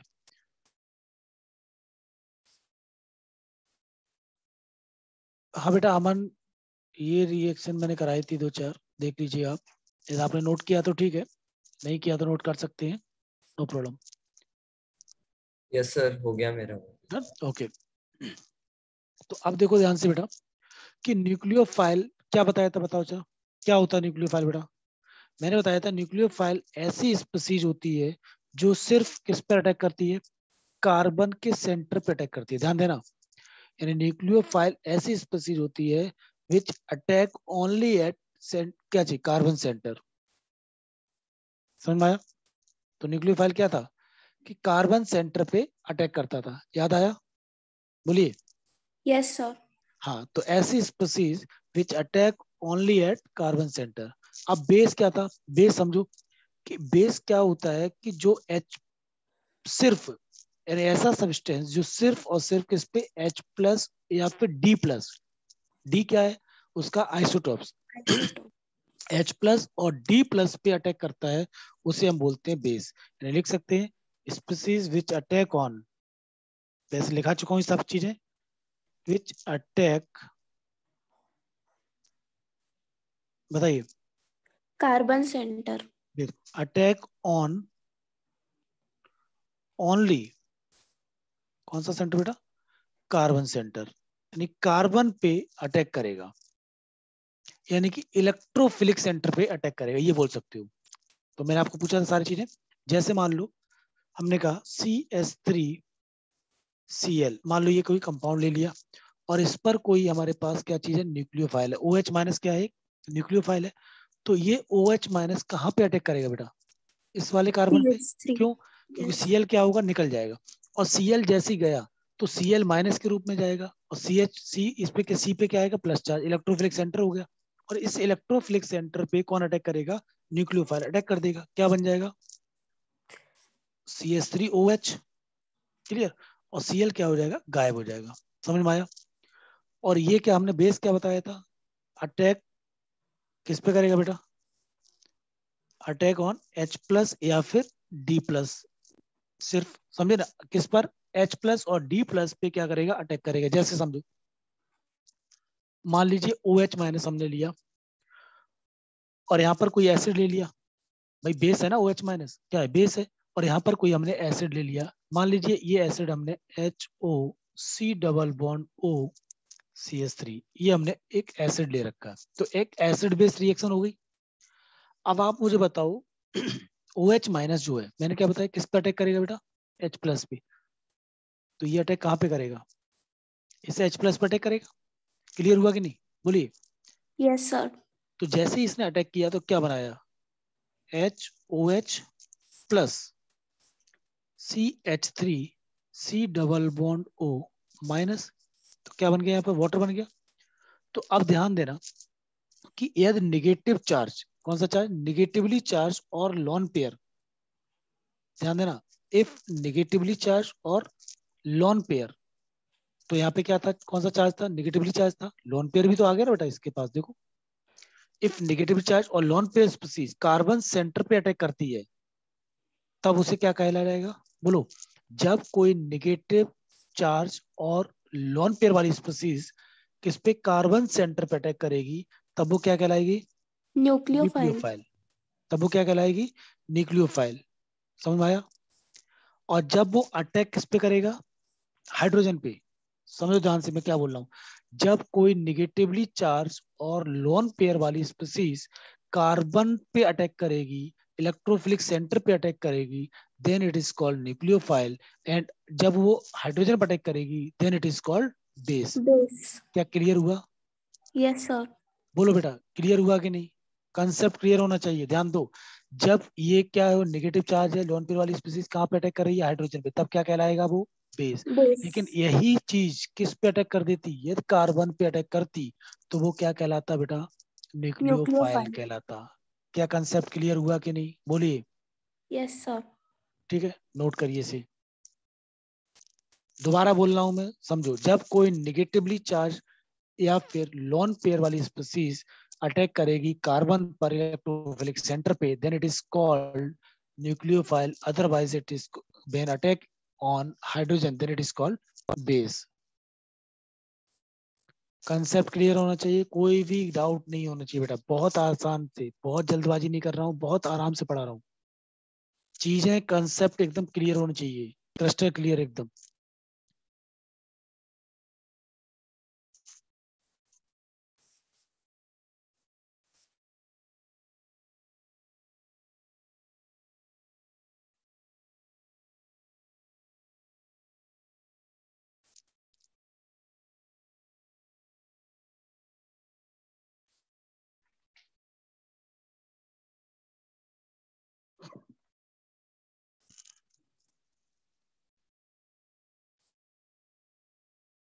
अरे बेटा कार्बन सेंटर मतलब कार्बन जैसे यहाँ पे कार्बन सेंटर नहीं हुआ क्या? ये कार्बन ही तो हुआ। इधर भी कार्बन ही हुआ कि नहीं हुआ? तो कार्बन सेंटर मतलब क्या? इलेक्ट्रोफिलिक सेंटर और न्यूक्लियोफाइल कहाँ पे अटैक करेगा? इलेक्ट्रोफिलिक सेंटर भी अटैक करेगा ना बेटा? कंफ्यूज नहीं होना बिल्कुल भी।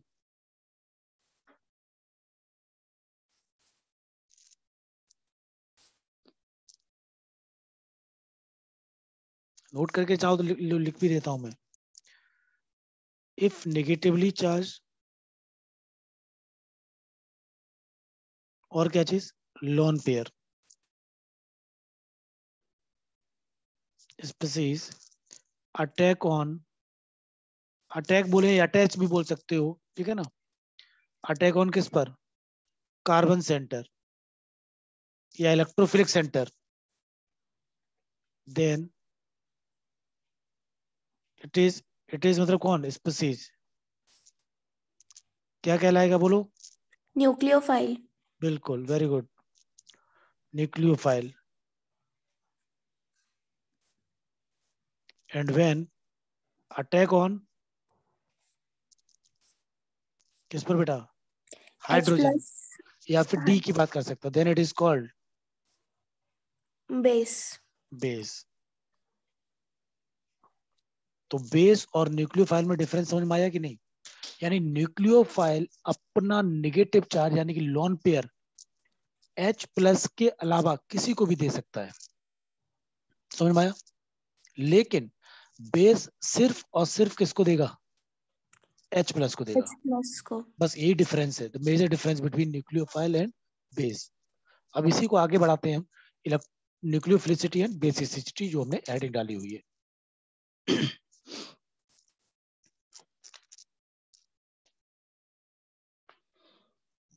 नोट कर लिया बेटा सभी ने। रिप्लाई करिए।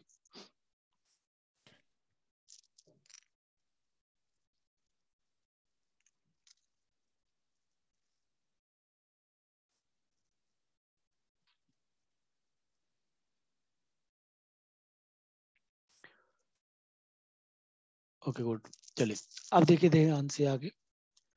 अब हम बात कर रहे हैं क्या? न्यूक्लियोफिलिसिटी समझना बेटा ध्यान से। जहाँ पे डाउट हो, तुरंत बताना। न्यूक्लियोफिलिसिटी अब न्यूक्लियोफिलिसिटी का मतलब क्या है? मतलब न्यूक्लियोफाइल से रिलेटेड है, ठीक है? सिंपल हम बात करें तो क्या बोल सकते हैं? प्रॉपर्टी ऑफ़ क्या बेटा? It is property of nucleophile it is property of क्या? न्यूक्लियोफाइल या फिर हम ये बोल सकते हैं it is tendency it is a tendency of tendency बोले कैपेसिटी बोले टेंडेंसी ऑफ़ क्या बेटा? Nucleophile it is a tendency of nucleophile to donate क्या चीज़? Lone pair tendency of nucleophile to donate lone pair और क्या बोल सकते हैं इसी को? इलेक्ट्रॉन पेयर ठीक है टेंडेंसी ऑफ़ न्यूक्लियोफाइल होता है जो क्या करता है बेटा? लॉन पेयर को डोनेट करता है या इलेक्ट्रॉन पेयर को डोनेट करता है। क्लियर डोनेट इलेक्ट्रॉन पेयर और lone pair better nucleophile better nucleophile बहुत बेसिक चीज़ें बता रहा हूँ, बिल्कुल बेसिक से ले रहा हूँ मैं ना? Better nucleophile donate electron more easily. यानी जो एक अच्छा क्या होगा न्यूक्लियोफाइल होगा, वो आसानी से क्या करेगा लॉन पेयर इलेक्ट्रॉन पेयर को डोनेट कर देगा। ना? इजिली और रैपिडली बोल सकते हैं।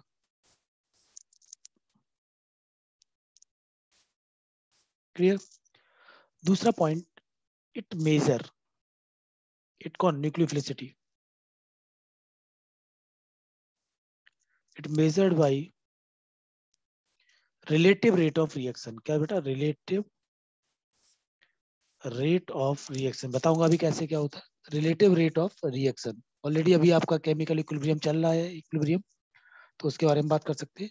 Measure relative rate of reaction या ब्रेकेट में हम क्या लिख सकते हैं? दैट इज़ केमिकल काइनेटिक्स एक चैप्टर आएगा ट्वेल्थ क्लास में। वहाँ पर एक चैप्टर का नाम है बेटा केमिकल काइनेटिक्स नाम से। उसमें आप क्या पढ़ेंगे? रिएक्शन के रेट के बारे में बात करेंगे। ठीक है? तो ये चीज़ आपको आनी चाहिए कि न्यूक्लियोफिसिटी क्या है? It is the tendency of nucleophile which donate lone pair जितनी आसानी से लोन पे डोनेट करेगा, वो उतना अच्छा न्यूक्लियोफाइल होगा। और ये क्या रेट मेजर करता है? रिलेटिव रेट ऑफ़ रिएक्शन ये काफ़ी इंपॉर्टेंट है। ये आप याद रखिएगा ऑब्जेक्टिव क्वेश्चन में कहीं ना कहीं पूछ सकता है। जैसे मान लो सपोज़ समझना ध्यान से। समझने की कोशिश करना कि मान लो मैंने एक कोई भी एक रिएक्शन ले ली बेटा। तो अब ये तो कंफर्म हो गया कि न्यूक्लियोफाइल क्या करेगा? अपना लोन पेयर किसे देता है बताओ? बोलिए बेटा। न्यूक्लियोफाइल अपना lone pair other than hydrogen किसी को भी दे देगा। यानी nucleophile gives lone pair to ji any other item except hydrogen hydrogen clear तो अब जैसे मान लो सपोज़ ध्यान देना कि मान लीजिए हमने यहाँ पे क्या किया कि कोई भी एक बेस सॉरी एक न्यूक्लियोफाइल ले लिया। मान लीजिए हमने यहाँ पर न्यूक्लियोफाइल लिया NH2 माइनस समझना बेटा ध्यान से? NH2 माइनस लिया और इसकी रिएक्शन हमने यहाँ पर CH3 Cl से करा दी। और इसका रेट हमने क्या मान लिया? आर वन आर यहाँ पर क्या बेटा? रेट है ध्यान देना। यहाँ पे क्या माना मैंने? रेट को आर वन मान लिया। तो अब ये तो कंफर्म हो गया ये अटैक कहाँ पे करेगा? कार्बन सेंटर पे। क्लियर हुआ? तो ये क्या बना लेगा बेटा? ये बना लेगा NH2 CH3 और ये क्या होगा? Cl माइनस अलग हो जाएगा।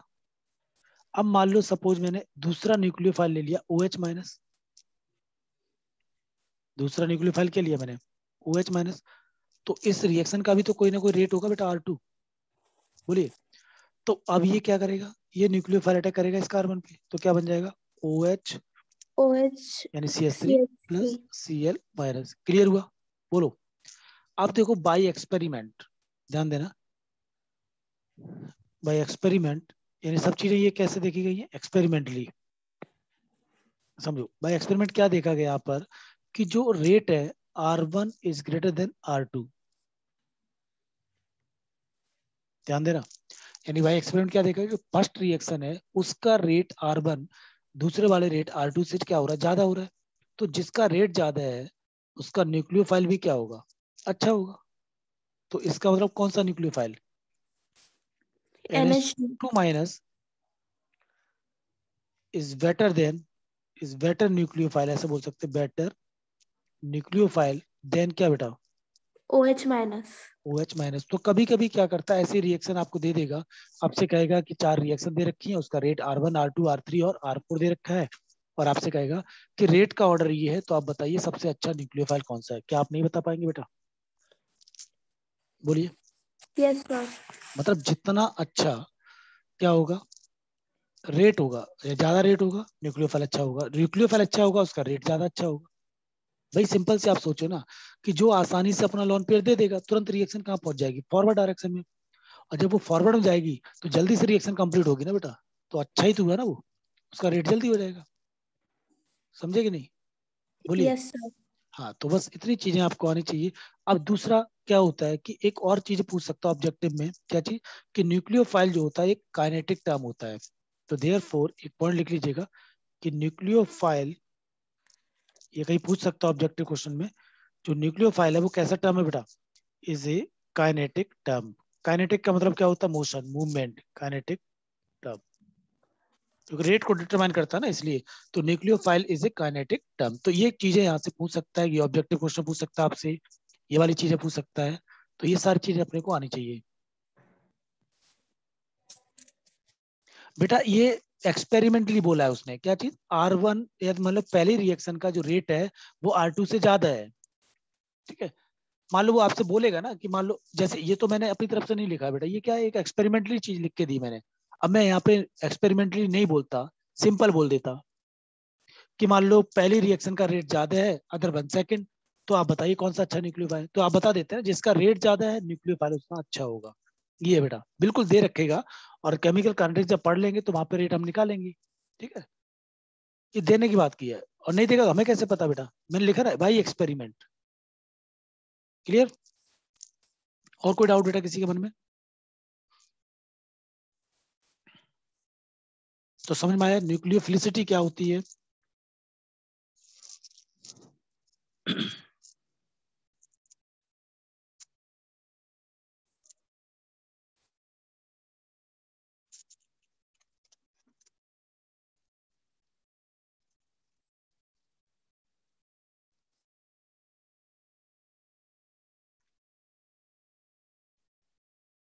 Okay, good.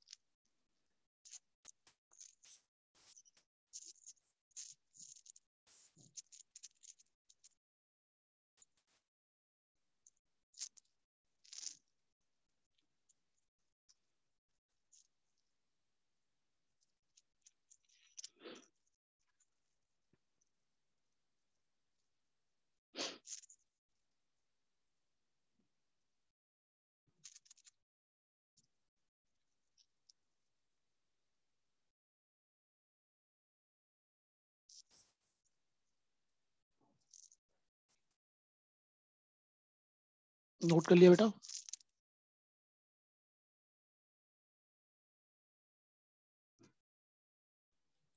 Done sir okay चलिए अब देखिए दूसरा टर्म हमारा कौन सा है बेटा? बेसिसिटी समझिएगा ध्यान से।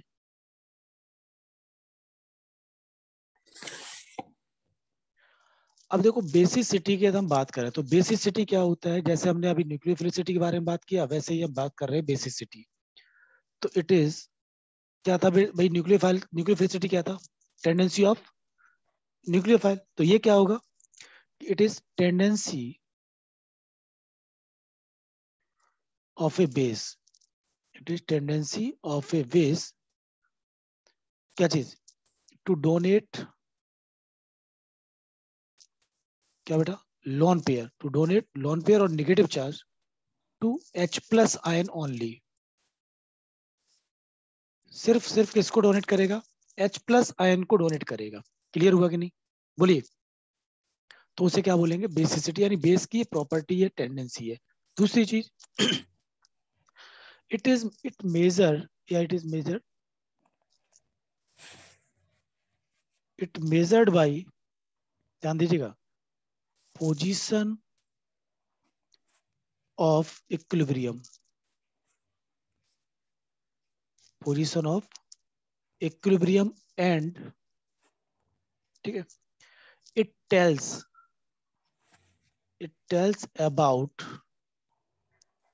tells about क्या चाहिए बेटा?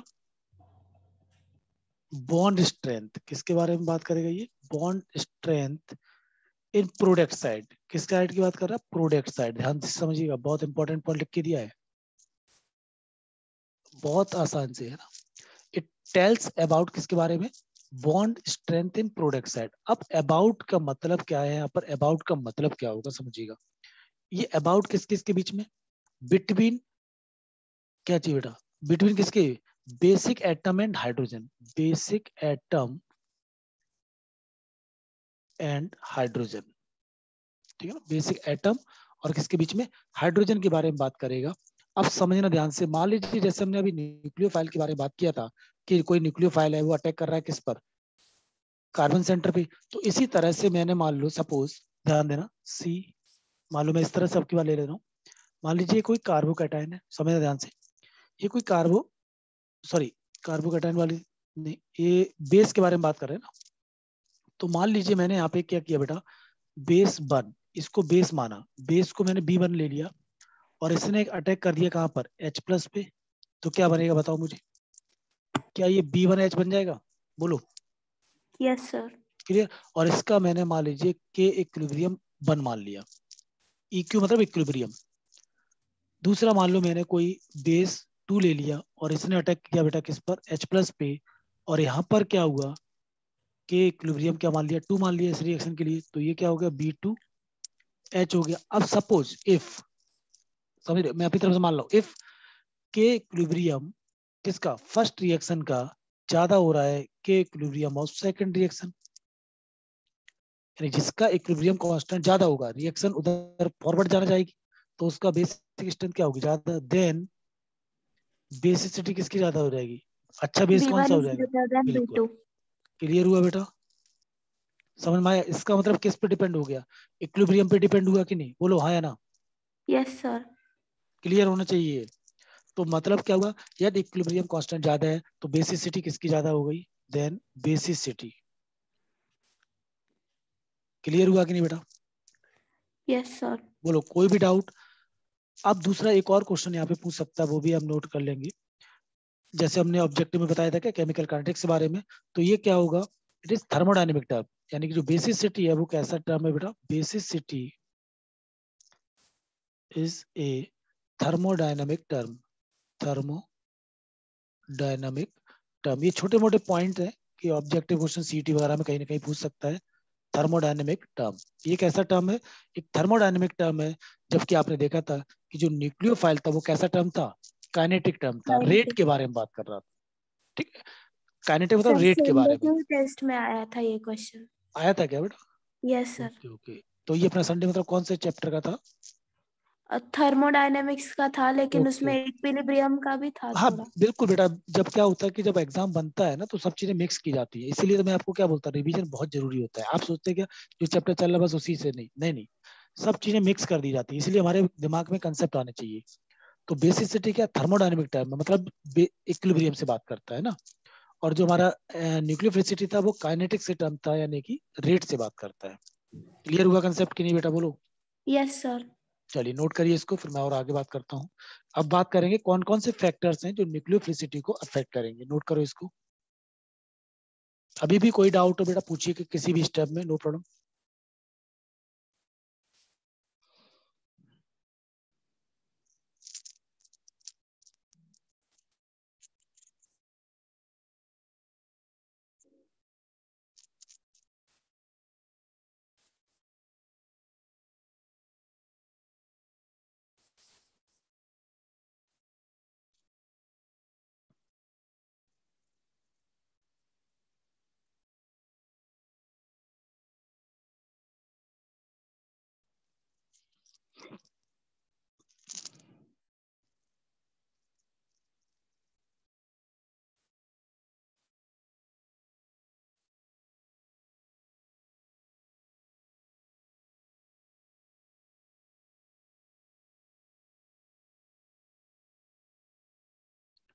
अरे बेटा इक्विलिब्रियम पे नहीं होगा तो फिर बेसिसिटी के बारे में बात थोड़ी ना करेंगे।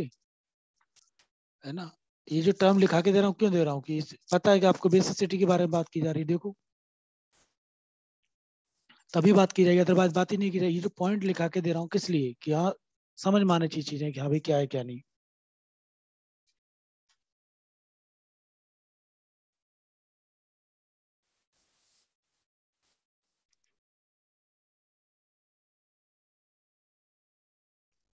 नोट करो जल्दी से। दिमाग में बिठा लो जिसका रेट ज़्यादा अच्छा न्यूक्लियोफाइल जिसका इक्विलिब्रियम कांस्टेंट ज़्यादा अच्छा बेस ज़्यादा ऐसी रिएक्शन देगा तो। बेटा बेसिसिटी के बहुत सारे फैक्टर्स है, लेकिन यहाँ पर मेन इंपॉर्टेंट हम बात कर रहे हैं ना। कि क्या डिफरेंस है दोनों के बीच में? Difference between nucleophilicity and basicity nucleophile क्या करता है? अपना लॉन पेयर किसी को भी दे सकता है ना अदर देन हाइड्रोजन एटम जबकि बेस क्या करता है? बेसिसिटी सिर्फ़ और सिर्फ़ हाइड्रोजन को देगा। तो वो दोनों के बीच में डिफरेंस क्रिएट कर रहा हूँ, क्या होगा?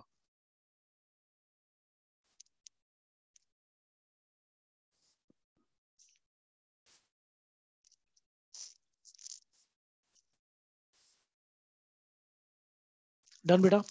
चलिए, अब देखिए, बात करते हैं।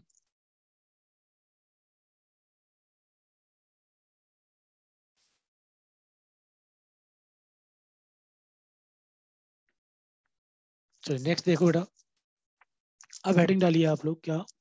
फैक्टर्स अफेक्टिंग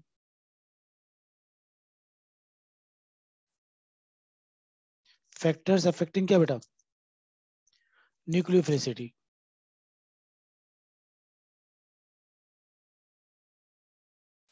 ठीक है? फैक्टर्स अफेक्टिंग न्यूक्लियोफिलिसिटी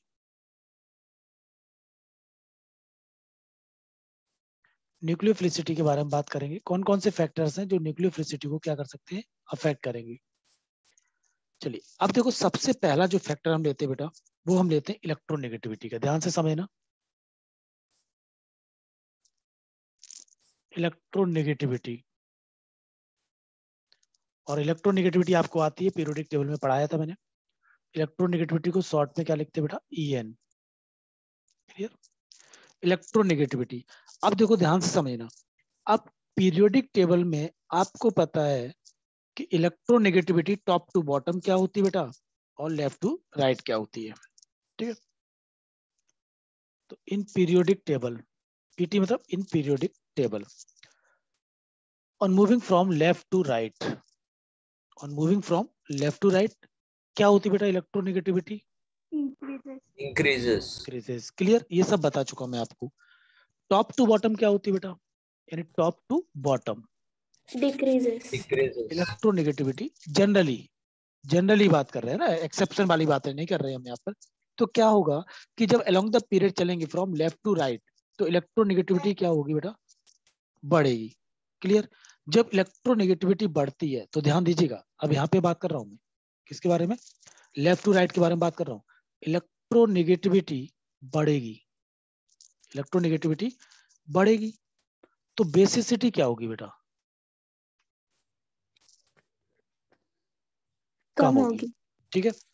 बेसिसिटी क्या होगी बेटा? कम। क्योंकि इलेक्ट्रोनेगेटिविटी बढ़ने से तो वो अपना लोन पे अपने पास ही रखना चाहेगा अट्रैक्ट करता है वो तो। देना कहाँ चाहेगा फिर? क्लियर तो इलेक्ट्रोनेगेटिविटी बढ़ेगी लेफ़्ट टू राइट जाने पर बेसिसिटी कम होगी तो न्यूक्लियोफिलिसिटी भी क्या हो जाएगी बेटा? वो कम भी कम हो जाएगी। हो जाएगी। बिल्कुल। न्यूक्लियोफिलिसिटी आल्सो डिक्रीजेस क्लियर हुआ कि नहीं? दोबारा समझो on moving from left to right in a period, then electronegativity increases. Due to this, basicity decreases and nucleophilicity also decreases. Clear हुआ? कब? लेफ़्ट टू राइट की बात करेगा। जब लेफ़्ट टू राइट जाएँगे, तब क्या होगा? इलेक्ट्रोनेगेटिविटी बढ़ेगी बेसिसिटी कम होगी न्यूक्लियोफिलिसिटी कम होगी। यानी समझने के लिए हम बोल सकते हैं क्या?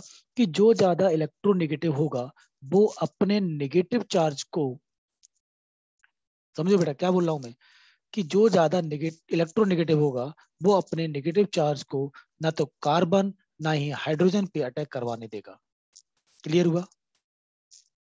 समझो बेटा, क्या बोल रहा हूँ मैं?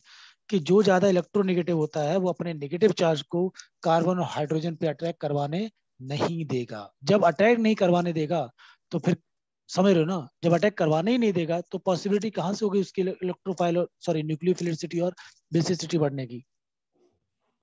बोलो बेटा क्लियर हुआ कि नहीं? यस सर तो अब यदि मैं बात करूँ ध्यान से समझना मैंने क्या बोला कि on moving from left to right electronegativity increases nucleophilicity decreases यानी कि जब पीरियड की बात करेगा तो दोनों क्या हो जाएँगे? इनवर्सली प्रोपोर्शनल हो जाएँगे। क्या क्लियर हुआ कि नहीं कंसेप्ट जैसे मान लो एग्जांपल लेता हूँ मैं। समझना बेटा? मान लीजिए मैंने लिया सी एस थ्री माइनस और उसके बाद मैंने N H two minus then O H minus then कौन सा बेटा? मान लीजिए एफ़ माइनस तो देखो यहाँ पर on moving from left to right यानी कार्बन से लेकर के फ्लोराइड तक की बात कर रहे हैं तो लेफ़्ट टू राइट जा रहे हैं। लेफ़्ट टू राइट जा रहे हैं इसका मतलब क्या हुआ? इलेक्ट्रोनेगेटिविटी क्या हो रही बेटा? बढ़ रही और जब इलेक्ट्रोनेगेटिव बढ़ेगा मैंने अभी क्या बोला कि जिसकी इलेक्ट्रोनेगेटिविटी ज़्यादा होगी जिसकी इलेक्ट्रोनेगेटिविटी ज़्यादा होगी वो अपने नेगेटिव चार्ज नेगेटिव चार्ज का मतलब क्या हुआ बेटा? लोन पेयर हो गया ना? समझे ना? वो अपने नेगेटिव चार्ज को कार्बन और हाइड्रोजन पे अटैक नहीं करने देगा। जब कार्बन पे अटैक नहीं करने दिया मतलब इलेक्ट्रोफिलिक सेंटर पे अटैक नहीं करने दिया दैट मींस न्यूक्लियोफिलिसिटी डिक्रीज हो जाएगी। जब वो हाइड्रोजन को डोनेट नहीं करेगा दैट मींस बेसिसिटी क्या हो जाएगी? डिक्रीज हो जाएगी। क्या कंसेप्ट क्लियर हुआ कि नहीं? बताइए। तो मैं आपसे पूछूँ कि यहाँ पर किसका ऑर्डर न्यूक्लियोफिलिसिटी का ऑर्डर की बात करूँ तो बताइए मुझे क्या आएगा बेटा? न्यूक्लियो स्ट्रेंथ ऑफ़ न्यूक्लियोफिलिसिटी या न्यूक्लियोफिलिसिटी ऑर्डर तो क्या ये ऑर्डर आ जाएगा? बोलो यस और नो यस क्लियर हुआ? बताइए कोई भी डाउट है तो बताओ मुझे। अब दूसरी चीज़ एक और चीज़ समझो बेटा कि जब हम लेफ़्ट टू राइट जाते हैं समझना ध्यान से बहुत इंपॉर्टेंट पॉइंट बोल रहा हूँ। जब लेफ़्ट टू राइट जाते हैं ये कंसेप्ट तो समझ में आ गया आपको कि लेफ़्ट टू राइट जाएँगे तो इलेक्ट्रोनिगेटिविटी बढ़ेगी और उस इलेक्ट्रोनिगेटिविटी बढ़ने की वजह से कि बेसिसिटी और न्यूक्लियोफिलिसिटी क्या हो जाएगी? कम हो जाएगी। क्लियर हुआ? बोलो यस और नो अब Yes, बात sir. आती है कि on moving from left to right ध्यान दीजिए on moving from left to right जब हम लेफ़्ट टू राइट जाएँगे तो डिफरेंस ऑफ़ साइज़ की बात करें या साइज़ का डिफरेंस की बात करें क्या बहुत ज़्यादा होता है? भाई on moving from left to right size का डिफरेंस क्या होता है? बहुत ज़्यादा होता है या बहुत कम होता है? बहुत कम होता है। बिल्कुल वेरी गुड होता ठीक है बहुत कम होता है। जब लेफ़्ट टू राइट जाएँगे तो साइज़ का जो डिफरेंस होता है वो बहुत ही कम होता है। इस वजह से वहाँ पे एक इफ़ेक्ट आता है जिसका नाम होता है सॉल्वेशन इफ़ेक्ट तो उसको हम कंसीडर नहीं करते हैं। यहाँ पर सॉल्वेशन का इफ़ेक्ट कंसीडर नहीं किया जाएगा। क्लियर तो मैं इसी को नोट करके पॉइंट लिख देता हूँ। ये बहुत इंपॉर्टेंट पॉइंट है ध्यान रखिएगा कि on moving from on moving from क्या बेटा? लेफ़्ट टू राइट शॉर्ट में लिख रहा हूँ एल मतलब left right left to right size difference size difference is very less. Size difference क्या होगा? बहुत ही कम होगा. सो या हेंस क्या बेटा? Solvation effect solvation effect not consider बहुत ही ज़्यादा इंपॉर्टेंट है बेटा. पॉइंट ठीक है? सॉल्वेशन इफ़ेक्ट को कंसीडर नहीं करेंगे. मतलब जहाँ पे भी साइज़ का डिफरेंस कम होगा, वहाँ पे सॉल्वेशन का इफ़ेक्ट को कंसीडर नहीं करेंगे. अब आपके मन में ये आ रहा होगा बेटा कि सॉल्वेशन क्या होता है, जो कि आप केमिकल बॉन्डिंग में कहीं ना कहीं पढ़े होंगे. नहीं पढ़े तो कोई बात नहीं.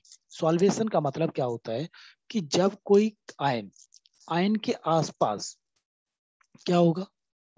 सॉल्वेंट एक प्रोटेक्टिव लेयर बनाता है, यानी कि सॉल्वेशन मतलब जब कोई आयंस पानी के साथ इंटरेक्ट करता है या किसी अदर सॉल्वेंट के साथ इंटरेक्ट करता है, तब उसे बोलते हैं सॉल्वेशन क्लियर लेकिन जब कोई आयन पानी के साथ इंटरेक्ट करता है, तब उस प्रोसेस को बोल देते हैं हाइड्रेशन बोलते हैं। क्या बोलते हैं बेटा?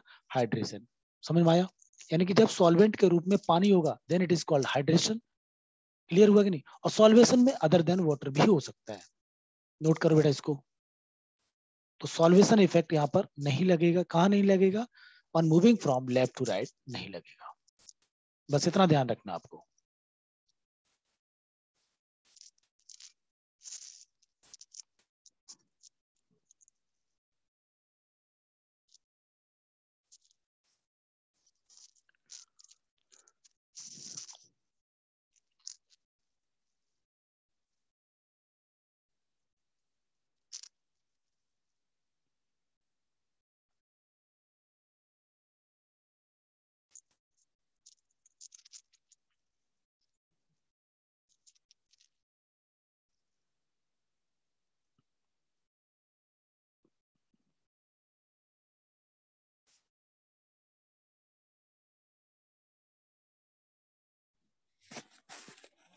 सर टॉप टू बॉटम के लिए। हाँ टॉप टू बॉटम बात करेंगे ना अभी। पहले हमने बस अभी क्या बताया on from left to right की बात की बेटा। अभी टॉप टू बॉटम की बातें करेंगे। तो टॉप टू बॉटम की बात करेंगे तो साइज़ के बारे में बात करेंगे हम लोग। यहाँ पे साइज़ मैटर करेंगे। बिल्कुल टॉप टू बॉटम में।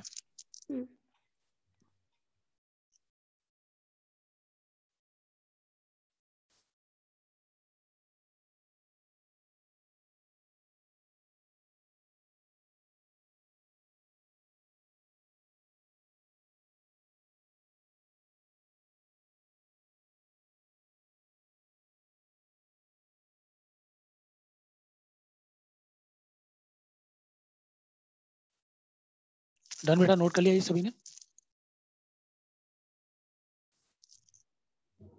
यस सर बेटा ये एग्ज़ाम्पल ही है देखो ये एग्ज़ाम्पल ही है बेटा ना। ये एग्ज़ाम्पल ही लिख के दिया है लेफ़्ट टू राइट जाने पर। बिना एग्ज़ाम्पल के तो मैं आगे नहीं बढ़ता।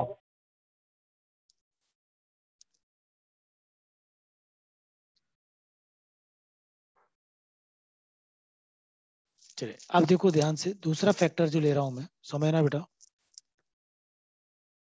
साइज़ ध्यान से समझना दूसरा फैक्टर कौन सा ले रहा हूँ? साइज़ अब टॉप टू बॉटम आप बताइए मुझे कि टॉप टू बॉटम जाने पर on moving top to bottom in general ठीक है ना? एक्सेप्शन वाली बातें नहीं कर रहा हूँ मैं टॉप टू बॉटम तो बताइए साइज़ क्या होगा बेटा? इंक्रीज क्लियर यानी जब टॉप टू बॉटम की बात करेंगे तो साइज़ क्या होगा? इंक्रीज अब जब भी साइज़ का डिफरेंस ज़्यादा होगा तो सिंपल सी बात है जब टॉप टू बॉटम जाएँगे तो साइज़ डिफरेंस बढ़ेगा। साइज़ डिफरेंस बढ़ेगा तो यहाँ पर क्या करेंगे? देन सॉल्वेशन इफ़ेक्ट कंसीडर करेंगे। देन हेयर कौन सा बेटा? सॉल्वेशन इफ़ेक्ट कंसीडर यहाँ पर सॉल्वेशन इफ़ेक्ट को हम कंसीडर करेंगे। मतलब इलेक्ट्रोनिगेटिविटी वाले कंसेप्ट में यानी कि moving from left to right वाले कंसेप्ट में हम वहाँ पे सॉल्वेशन इफ़ेक्ट नहीं लेते हैं। क्लियर हुआ? जैसे एग्जांपल की बात करें बेटा fluoride ion chloride ion bromide और आयोडाइड अब मुझे बताइए साइज़ का ऑर्डर की बात करूँ। क्या साइज़ का ऑर्डर बेटा ये आ जाएगा? यस सर यस सर तो टॉप टू बॉटम जाने पर साइज़ क्या होता है? जनरली बढ़ता है। कि जब साइज़ बढ़ेगा किसका साइज़ है ये? एनाइन का साइज़ किसकी साइज़ की बात कर रहा हूँ बेटा एनाइन की साइज़ की बात कर रहा हूँ। तो एनाइन का साइज़ बढ़ेगा, मैं लिख देता हूँ यहाँ पर। एनाइनिक साइज़ एनाइनिक साइज़ क्या होगा? इंक्रीज होगा। तो पोलराइजेशन क्या होगा बेटा? बढ़ेगा। पोलराइजेशन क्या होगा? बढ़ेगा। केमिकल बॉन्डिंग में आपने पढ़ा होगा Fajans rule clear anionic size बढ़ा पोलराइजेशन बढ़ा। पोलराइजेशन बढ़ेगा तो न्यूक्लियोफिलिसिटी भी बढ़ेगी। अब कब बढ़ेगी, कब नहीं बढ़ेगी, वो सारी चीज़ें हम बताएँगे। न्यूक्लियोफिलिसिटी क्या होगी बेटा? इंक्रीज हो जाएगी। न्यूक्लियोफिलिसिटी क्या होगी? इंक्रीज होगी। अब न्यूक्लियोफिलिसिटी इंक्रीज होगी, इसका मतलब क्या हो गया? कि जैसे जैसे टॉप टू बॉटम जाएँगे एनाइन का साइज़ बढ़ेगा तो न्यूक्लियोफिलिसिटी भी क्या हो जाएगी बेटा? इंक्रीज हो जाएगी। क्लियर हुआ कंसेप्ट के नहीं? बोलो। अब यहाँ पे समझिएगा। अब क्वेश्चन कैसे पूछ सकता है आपसे? इंपॉर्टेंट बात वहाँ पे आती है कि क्वेश्चन पूछेगा कब? क्लियर क्वेश्चन आपसे ये कह सकता है कि ऑर्डर ऑफ़ न्यूक्लियोफिलिसिटी समझ रहे बेटा, क्या बोलेगा? Order of nucleophilicity in polar protic solvent किसमें बात करेगा? इन पोलर प्रोटिक सॉल्वेंट किसकी बात कर रहा है? पोलर प्रोटिक सॉल्वेंट की बात कर रहा है, मान लो। समझना ध्यान से? बहुत इंपॉर्टेंट है। किसमें बात किया उसने? पोलर प्रोटिक सॉल्वेंट की बात कर रहा है। तो जब पोलर प्रोटिक सॉल्वेंट की बात करेगा तो आपने अभी देखा क्या? कि इलेक्ट्रॉन डेंसिटी क्या हो जाएगी भाई? बढ़ जाएगी। भाई इलेक्ट्रॉन डेंसिटी बढ़ी मतलब क्या होगा? सॉल्वेशन पावर बढ़ गया। सॉल्वेशन पावर क्या हुई? बढ़ गई। अब सॉल्वेशन पावर जितनी ज़्यादा होगी, वो प्रोटेक्टिव पावर क्या बना लेगा? प्रोटेक्टिव लेयर बना लेगा। देन फॉर्म क्या बेटा? Protective layer. अब समझने ध्यान से, मैं क्या समझाना चाह रहा हूँ? जब उसने बात की क्या? किस केस में? पोलर प्रोटेक के बारे में बात कर दी। तो पोलर प्रोटेक का मतलब क्या है कि इलेक्ट्रॉन डेंसिटी बढ़ जाएगी? अब देख, पीपी, मैंने पोलर प्रोटेक, पोलर एप्रोटेक सब बता दिया है, ध्यान रखना। तो सर, अब पोलर प्रोटेक मतलब एच प्लस दे रहा हो जो। बिल्कुल बिल्कुल। अब भूल गए आप मैंने अभी पिछले लेक्चर कल के लेक्चर में ही पढ़ाया था क्या कि टाइप्स ऑफ़ सॉल्वेंट याद आया कुछ? यस सर हाँ तो रिवाइज करते रहो बेटा ना? तो अब पोलर प्रोटेक जैसी सॉल्वेंट आएगा तो क्या होगा? इलेक्ट्रॉन डेंसिटी उसकी बढ़ जाएगी। जब इलेक्ट्रॉन डेंसिटी बढ़ेगी तो उस वजह से क्या होगा कि भाई सॉल्वेशन बढ़ जाएगा। अब सॉल्वेशन पावर का मतलब क्या होता है कि वो अपने आसपास क्या करेगा? वाटर मॉलिक्यूल्स ज़्यादा कनेक्ट करेगा। और ज़्यादा वाटर मॉलिक्यूल्स कनेक्ट होंगे तो इसका मतलब क्या हो जाएगा बेटा? कि एक प्रोटेक्टिव लेयर बना लेगा। क्या बना लेगा? एक प्रोटेक्टिव लेयर बना लेगा। अब जब वो प्रोटेक्टिव लेयर बना लेगा तो न्यूक्लियोफिलिसिटी क्या हो जाएगी बताइए? जैसे मान लो मैं एग्जांपल की बात करूँ सॉल्वेशन बताओ मुझे पहले तो। सॉल्वेशन का ऑर्डर बताइए मुझे। किसमें? F minus C L minus B R minus और आई माइनस में। बताइए क्या होगा बेटा? सॉल्वेशन का इफ़ेक्ट क्या होगा यहाँ पर? आई का ज़्यादा होगा। नहीं सॉल्वेशन का मतलब क्या होता है? समझो देखो सॉल्वेशन मैंने मतलब है, क्या बताया? हाइड्रेशन। जितना साइज़ कम होगा जितना साइज़ क्या होगा बेटा? कम होगा उसका सॉल्वेशन उतना ज़्यादा होगा। एल मतलब वाटर के मॉलिक्यूल्स क्या होंगे उसके पास? ज़्यादा आ जाएँगे ना? यस सर वाटर के मॉलिक्यूल्स क्या हो जाएँगे उसके पास? ज़्यादा आ जाएँगे। समझे ना? तो अब मुझे बताइए यहाँ पर कि सॉल्वेशन का इफ़ेक्ट समझ में आ गया सॉल्वेशन किसका ज़्यादा हुआ? फ्लोरीन क्लोरीन ब्रोमीन और आयोडीन। समझा? कि जितना साइज़ कम होगा, सॉल्वेशन उतना ज़्यादा होगा। ध्यान रखना इस चीज़ का। साइज़ जितना कम, सॉल्वेशन उतना ज़्यादा। क्लियर डिक्रीजेस अब बात आती है यहाँ पर कि सॉल्वेशन क्या हुआ बेटा? ज़्यादा हो गया। समय ध्यान से। सॉल्वेशन पावर क्या हुई? ज़्यादा हुई। तो उसने क्या बना लिया? अपने आसपास एक प्रोटेक्टिव लेयर बना ली। क्या बना ली उसने? एक प्रोटेक्टिव लेयर बना ली। तो जब उसने एक प्रोटेक्टिव लेयर बना ली तो अब आप मुझे बताओ कि जो भी आयन था क्या वो अपना लोन पेयर कार्बन पे अटैक करने जा पाएगा या भेज पाएगा? नहीं। नहीं। समझो ध्यान से कि भाई जब सॉल्वेशन पावर ज़्यादा होने की वजह से उसने अपने आसपास क्या किया? एक प्रोटेक्टिव लेयर बना ली तो जो भी आयन होगा क्या वो अपना लॉन पेयर कार्बन एटम या इलेक्ट्रोफिलिक सेंटर के पास अटैक करने भेज पाएगा क्या? नो बोलो नहीं भेज पाएगा। जब नहीं भेज पाएगा देन या देयर फोर न्यूक्लियोफिलिसिटी का ऑर्डर आप बताइए मुझे। आई का सबसे ज़्यादा। बिल्कुल वेरी गुड बेटा। बस यही कंसेप्ट हमें समझाना था यहाँ पर। और ये कंसेप्ट रटने से काम नहीं आते हैं और ना जल्दबाजी में आंसर दिए जाते हैं। बहुत सोच समझ के दिए जाते हैं।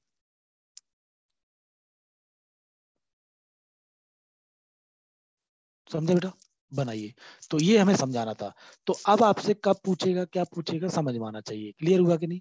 जब कुछ नहीं कहता है जब कुछ नहीं कहेगा मतलब कि पोलर प्रोटिक है या पोलर एप्रोटिक है तो सिर्फ़ और सिर्फ़ आपका आंसर इसके अकॉर्डिंग आपको देना है कि साइज़ बढ़ेगा पोलराइजेशन बढ़ेगा न्यूक्लियोफिसिटी बढ़ जाएगी। क्लियर हुआ बेटा? बोलो। यस सर और इन पोलर प्रोटिक की बात कर रहे हैं तो भी आप देख सकते हो यहाँ पे लिख सकते हो क्या चीज़? बताइए पोलर प्रोटिक में आपने देखा क्या हो रहा है? देखो। साइज़ बढ़ रहा है? साइज़ बढ़ेगा? न्यूक्लियोफिसिटी क्या हो गई बेटा? बढ़ गई। समझ रहे हो ना? यस सर हाँ नोट करो इसको।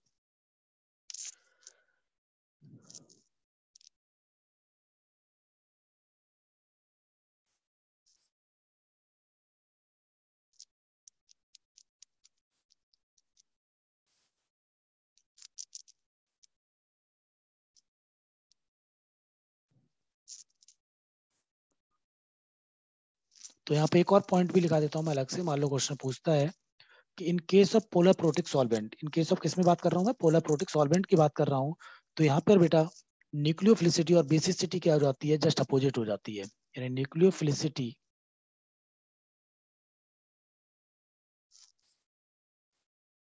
इनवर्सली प्रोपोर्शनल टू क्या बेटा? Basicity nucleophilicity inversely proportional to basicity तो बताइए मुझे बेसिस सिटी का ऑर्डर क्या हो गया बेटा? बोलो। उसका उल्टा। बिल्कुल। तो जस्ट क्या हो जाएगा? F minus then C L minus then B R minus then I minus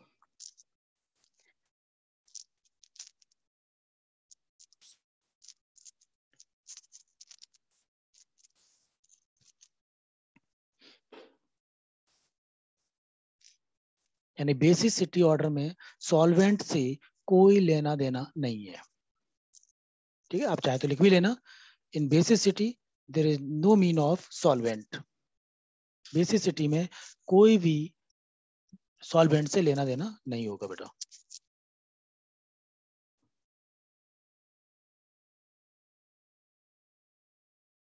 note करिए इसको जल्दी से।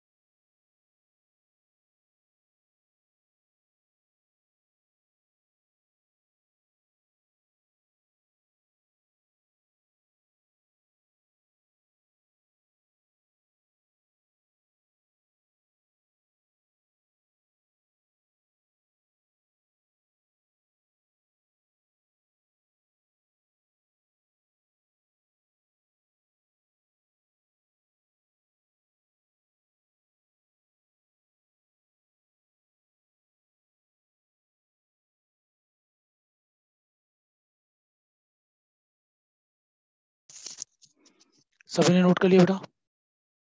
बहुत देखो, बहुत आराम से ध्यान से समझना, जल्दबाजी बिल्कुल नहीं, रटना बिल्कुल नहीं है कंसेप्चुअल बता रहा हूँ चीज़ें, ठीक है ना?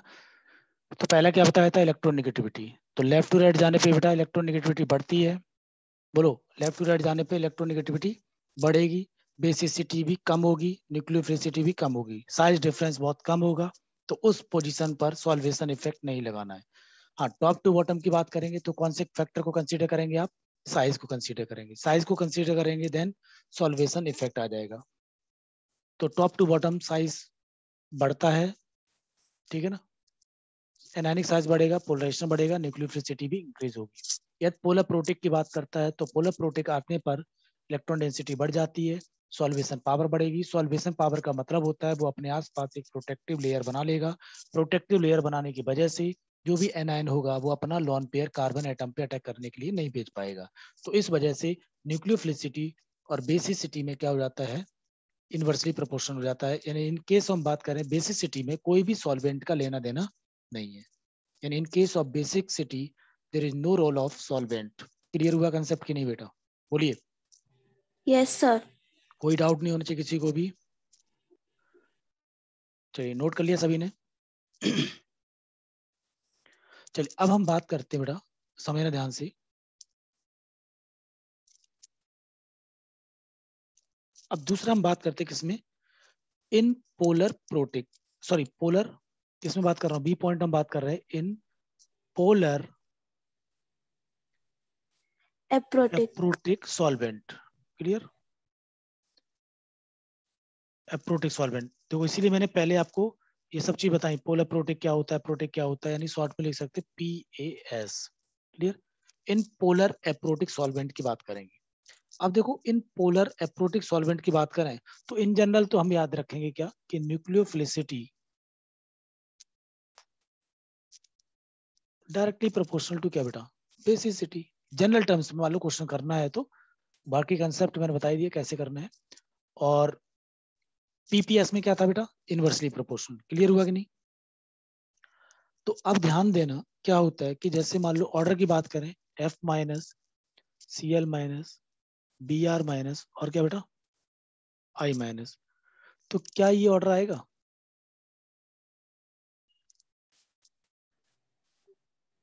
बताइए। ये दोनों का ऑर्डर हो गया। किसका बेटा? न्यूक्लियोफिलिसिटी का भी और बेसिसिटी का भी। क्लियर हुआ? ऑर्डर ऑफ़ न्यूक्लियोफिलिसिटी अभी देखो समझाएँगे आपको। न्यूक्लियोफिलिसिटी एंड क्या बेटा? बेसिसिटी अब समझो यहाँ पर इन पोलर एप्रोटिक सॉल्वेंट क्या बताया था जरा? पहले तो ये बताओ मुझे। पोलर एप्रोटिक सॉल्वेंट का मतलब क्या था?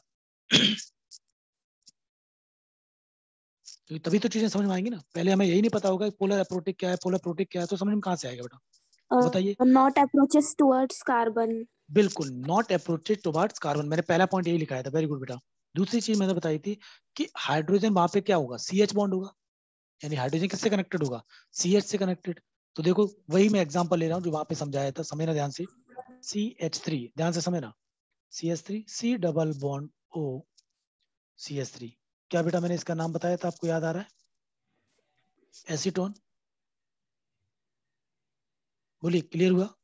यस सर एसीटोन तो मैंने एसीटोन लिया था। अब एसीटोन पे जब आप देखेंगे इस बॉन्ड को ब्रेक करेंगे तो इस पे चार्ज कौन सा आना चाहेगा? इस पे नेगेटिव आना चाहेगा इस पे पॉजिटिव चार्ज आना चाहेगा। तो इधर से क्या होगा?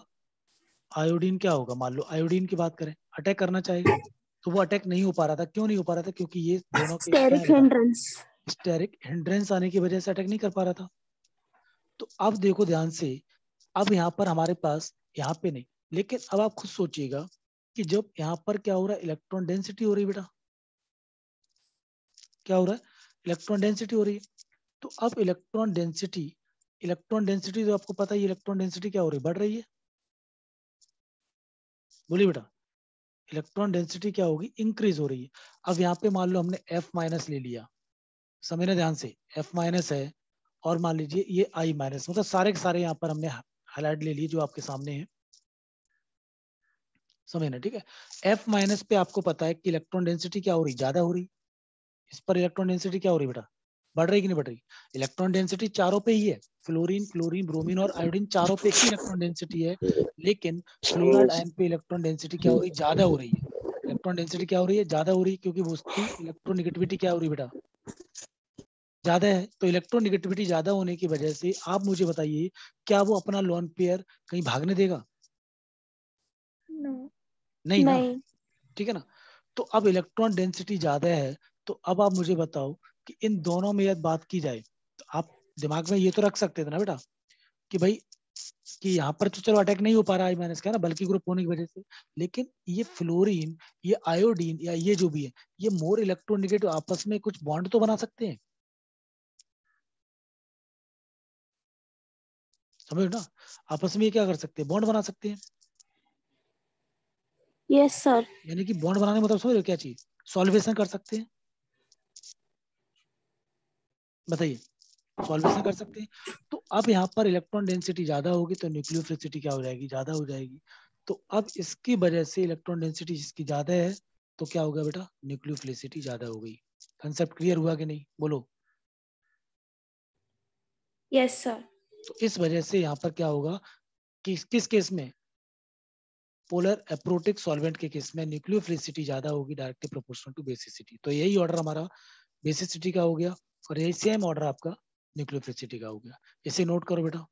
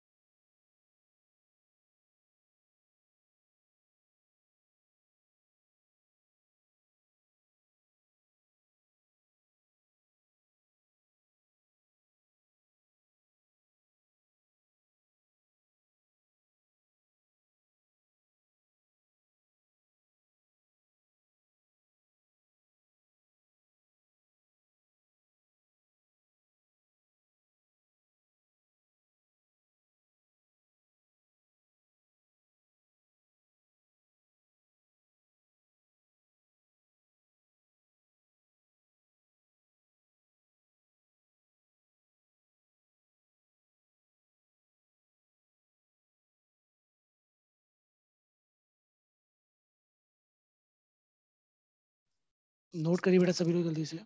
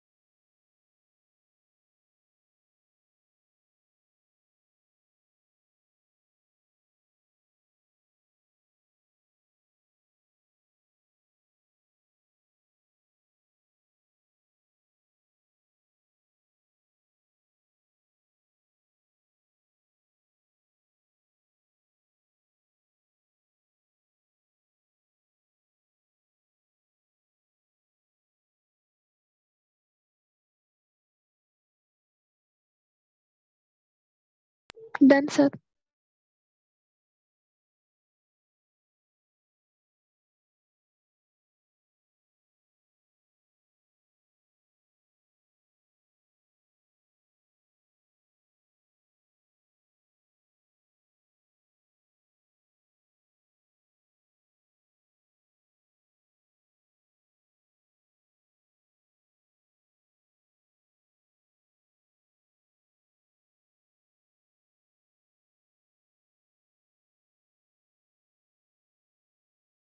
हाँ बेटा नोट करिए सभी ने?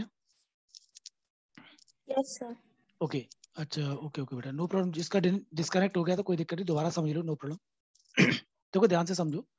मैं इसको दोबारा भी समझा देता हूँ नो प्रॉब्लम है ना? जिसका भी डिस्कनेक्ट हुआ कोई प्रॉब्लम नहीं। तो पहले तो देखो इसको दोबारा समझ लीजिए ना? जिसको प्रॉब्लम हुई है जिसको नहीं समझ में आया है कोई दिक्कत नहीं दोबारा समझा देता हूँ। पहली चीज़ तो बस इतना ध्यान रखो कि पोलर एप्रोटिक सॉल्वेंट में क्या बताइए यहाँ पर सॉल्वेशन का इफ़ेक्ट आया क्या? पीपीएस में क्या रहेगा? बताइए अभी बताया था मैंने आपको पीपीएस में क्या होगा बेटा? सॉल्वेशन का इफ़ेक्ट होगा। होगा। लेकिन यहाँ पर क्या होगा? सॉल्वेशन का इफ़ेक्ट नहीं होगा। लिख सकते हो? है ना? नो सॉल्वेशन इफ़ेक्ट कौन सा? सॉल्वेशन इफ़ेक्ट नहीं होगा।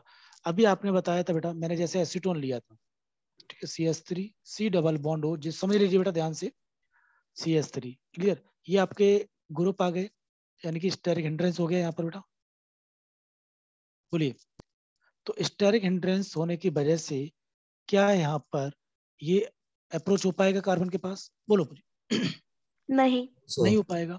तो जब नहीं हो पाएगा तो वो चीज़ें ये तो क्लियर हो गई कि यहाँ पर सॉल्वेशन इफ़ेक्ट नहीं होगा। जब सॉल्वेशन इफ़ेक्ट नहीं होगा तो in case of polar aprotic solvent क्या होगा? Nucleophilicity is directly proportional to basicity clear हुआ बेटा? बोलिए। Yes sir. तो अभी आपने जस्ट देखो, इसके बैक साइड में जो हमने पढ़ा था, बताइए न्यूक्लियोफिलिसिटी का ऑर्डर ये था बट बेसिसिटी का ऑर्डर क्या था? एफ़ माइनस का सबसे ज़्यादा था। क्लियर हुआ कि नहीं? क्योंकि मैंने अभी क्या बोला इन केस ऑफ़ बेसिसिटी क्या बोला इन केस ऑफ़ बेसिसिटी क्या चीज़? किसका रोल नहीं होगा? सॉल्वेंट का कोई रोल नहीं होगा। यहाँ पर भी देखो लिख देता हूँ। मैंने अभी बोला था, इसमें in basicity order there is no role of solvent in there is no effect या रोल ऑफ़ सॉल्वेशन किसका बेटा? सॉल्वेशन का कोई भी इफ़ेक्ट नहीं होगा यानी सॉल्वेंट का कोई भी इफ़ेक्ट नहीं होगा। There is no effect of solvent in case of क्या? बोलिए। बेसिसिटी बेसिसिटी यही बोला था। तो लिख लिया करो बेटा जो भी चीज़ें बोलता हूँ मैं। बेसिसिटी में सॉल्वेंट का कोई रोल नहीं होगा तो बेसिसिटी का ऑर्डर यही तो था। बेसिसिटी का ऑर्डर यही था। अब देखो इसी चीज़ को मैंने यहाँ पे बोला है। क्या बोला है? इन केस ऑफ़ क्या? पोलर एप्रोटिक सॉल्वेंट कौन सा इफ़ेक्ट नहीं होगा? सॉल्वेशन इफ़ेक्ट नहीं होगा। मतलब सॉल्वेंट का कोई इफ़ेक्ट नहीं होगा। जब सॉल्वेशन या सॉल्वेंट का कोई इफ़ेक्ट नहीं होगा तो उस केस में क्या होता है बेटा? कि nucleophilicity directly proportional to basicity concept clear nucleophilicity directly proportional to basicity यही ऑर्डर आपका बेसिसिटी का था। यही ऑर्डर किसका बन गया? न्यूक्लियोफिलिसिटी अब देखो, जिस बच्चे को नहीं समझ में आया था, वो दोबारा समझे, कोई दिक्कत नहीं। क्या होता है कि जैसे आपने कहा कि फ्लोरीन और आयोडीन की बात करें। अभी किसी ने कमेंट में लिखा था कि सर फ्लोरीन के पास नेगेटिव है तो नेगेटिव नेगेटिव रिपल्सन बिल्कुल सही बात है बेटा। तो देखो, यहाँ पर इसके पास क्या लॉन पेयर है? ये कुछ बुकों में ऐसा लिखा हुआ है समझना मतलब एक चीज़ तो हमने ये समझा दिया, ये कंसेप्ट क्लियर हो गया। अब मान लो दूसरा कंसेप्ट बुकों को जब पढ़ेंगे, आप कई बुक्स पढ़ेंगे तो कई बुक्स में क्या लिखा हुआ है, समझिएगा। जैसे मान लो इसके पास लॉन पेयर है, और फ्लोरिन के पास भी क्या चाहिए बेटा? लॉन पेयर है कि नहीं? बोलो नेगेटिव चार्ज भी है। इधर आयोडीन के पास भी मैं मतलब फ्लोरीन और आयोडीन को कंपेयर कर रहा हूँ समझना अब आप सोचो कि फ्लोरीन के पास, यानी सबके पास इलेक्ट्रॉन डेंसिटी है, लेकिन सबसे ज़्यादा इलेक्ट्रॉन डेंसिटी कहाँ पे हो रही है? फ्लोरीन के पास? बोलिए बेटा। यानी इलेक्ट्रॉन डेंसिटी आपके, देखो इलेक्ट्रॉन डेंसिटी मतलब क्या? उसके आसपास इलेक्ट्रॉन का होना तो इलेक्ट्रॉन यहाँ पर भी है, इधर भी है, सभी जगह इलेक्ट्रॉन है। लेकिन क्या हो रहा है? फ्लोरीन की इलेक्ट्रॉन डेंसिटी ज़्यादा हो रही है। अब इलेक्ट्रॉन डेंसिटी ज़्यादा है तो रिपल्सन बेटा होगा कि नहीं होगा? बताओ यहाँ पर भी इलेक्ट्रॉन है यहाँ पर भी इलेक्ट्रॉन इन दोनों के बीच में क्या होगा? रिपल्सन होगा। बोलिए मुझे रिपल्सन होगा कि नहीं? यस सर भाई जैसे ही फ्लोरीन ऑक्सीजन के पास जा रहा है तो रिपल्सन क्रिएट होगा ठीक है? इसी तरह से ऑक्सीजन के पास मान लो आयोडीन जा रहा है मतलब फ्लोरीन क्लोरीन ब्रोमीन और आयोडीन जा रहा है तो इधर भी रिपल्सन होगा। बोलिए रिपल्सन तो इधर भी होगा ना? कि नहीं? रिपल्सन सभी जगह होगा। अब मुझे बस ये बताओ कि सबसे ज़्यादा रिपल्सन कहाँ होगा? फ्लोरीन पर। सर फ्लोरीन के केस में। फ्लोरीन के केस में क्या होगा? सबसे ज़्यादा रिपल्सन होगा। जब ज़्यादा रिपल्सन होगा तो ज़्यादा दूर तक फेंकेगा वो। भाई ये बताइए ऑक्सीजन क्या कर रहा है? ज़्यादा रिपल्सन कर रहा है। ज़्यादा रिपल्सन होने की वजह से क्या कर रहा है? ये इसको एक क्या कर रहा है? एक फोर्स लगा रहा है रिपेल कर रहा है कि भाई तू जा। किसके पास? कार्बन के पास। जल्दी अटैक कौन करने जाएगा बताओ मुझे। जब ज़्यादा रिपल्सन हो रहा है तो आप मुझे बताइए इनमें से फ्लोराइड क्लोराइड ब्रोमाइड और आयोडाइड जो आपके सामने लिखे हुए हैं इनमें से जल्दी से इलेक्ट्रोफिलिक सेंटर पर यानी कि कार्बन एटम के पास कौन जाके अटैक करेगा जल्दी से? फ्लोरीन फ्लोरीन फ्लोरीन करेगा? बोलो भाई जल्दी Yes, sir. फ्लोरीन अटैक करेगा? तो फ्लोरीन जब अटैक करेगा जो जल्दी से अटैक करेगा इजीली अटैक करेगा रैपिडली अटैक करेगा वो अच्छा न्यूक्लियोफाइल होगा कि नहीं? यस हाँ सर हाँ, क्लियर हुआ हाँ। कंसेप्ट वो अच्छा न्यूक्लियोफाइल होगा कि नहीं? यस सर उसकी न्यूक्लियोफिलिसिटी अच्छी होगी? यस यस सर क्या क्लियर हुआ कंसेप्ट यस सर समझे? मैंने मैंने कंसेप्ट बताया वो भी समझ में आया कि नहीं आपको? और जो बुकों में लिखा होगा वो भी कंसेप्ट मैंने बता दिया आपको। क्लियर हुआ कंसेप्ट नहीं? बोलो बेटा रिपल्सन ज़्यादा होने की वजह से जितना ज़्यादा रिपल्सन होगा जल्दी से क्या करेगा? रिपेल करेगा और वो कार्बन के पास जल्दी अप्रोच करेगा जल्दी अटैक करेगा। That's why nucleophilicity of fluoride ion is more than chloride bromide और iodide got it yes sir चलिए नोट करिए बेटा इसको।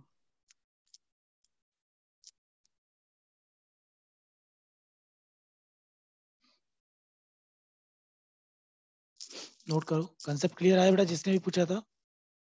अब डाउट नहीं होना चाहिए, बिल्कुल भी। तो दोनों में से आप कोई भी अप्रोच लगा सकते हैं नो प्रॉब्लम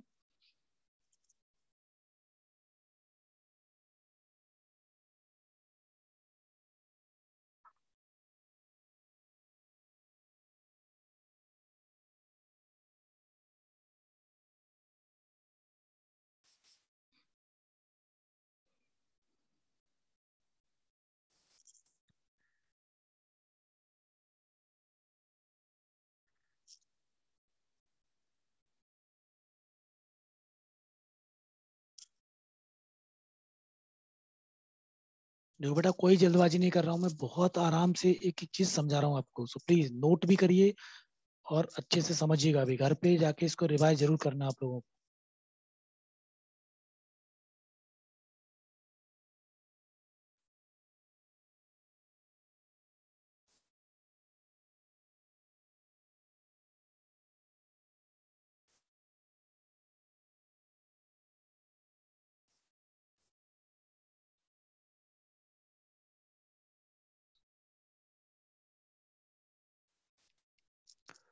डन बेटा?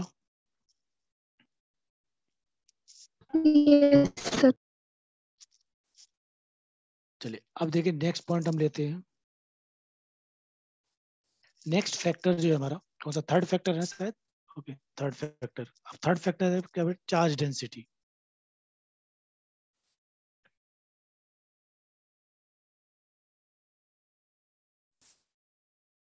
C D short में हम सी डी लिख देते चार्ज डेंसिटी को।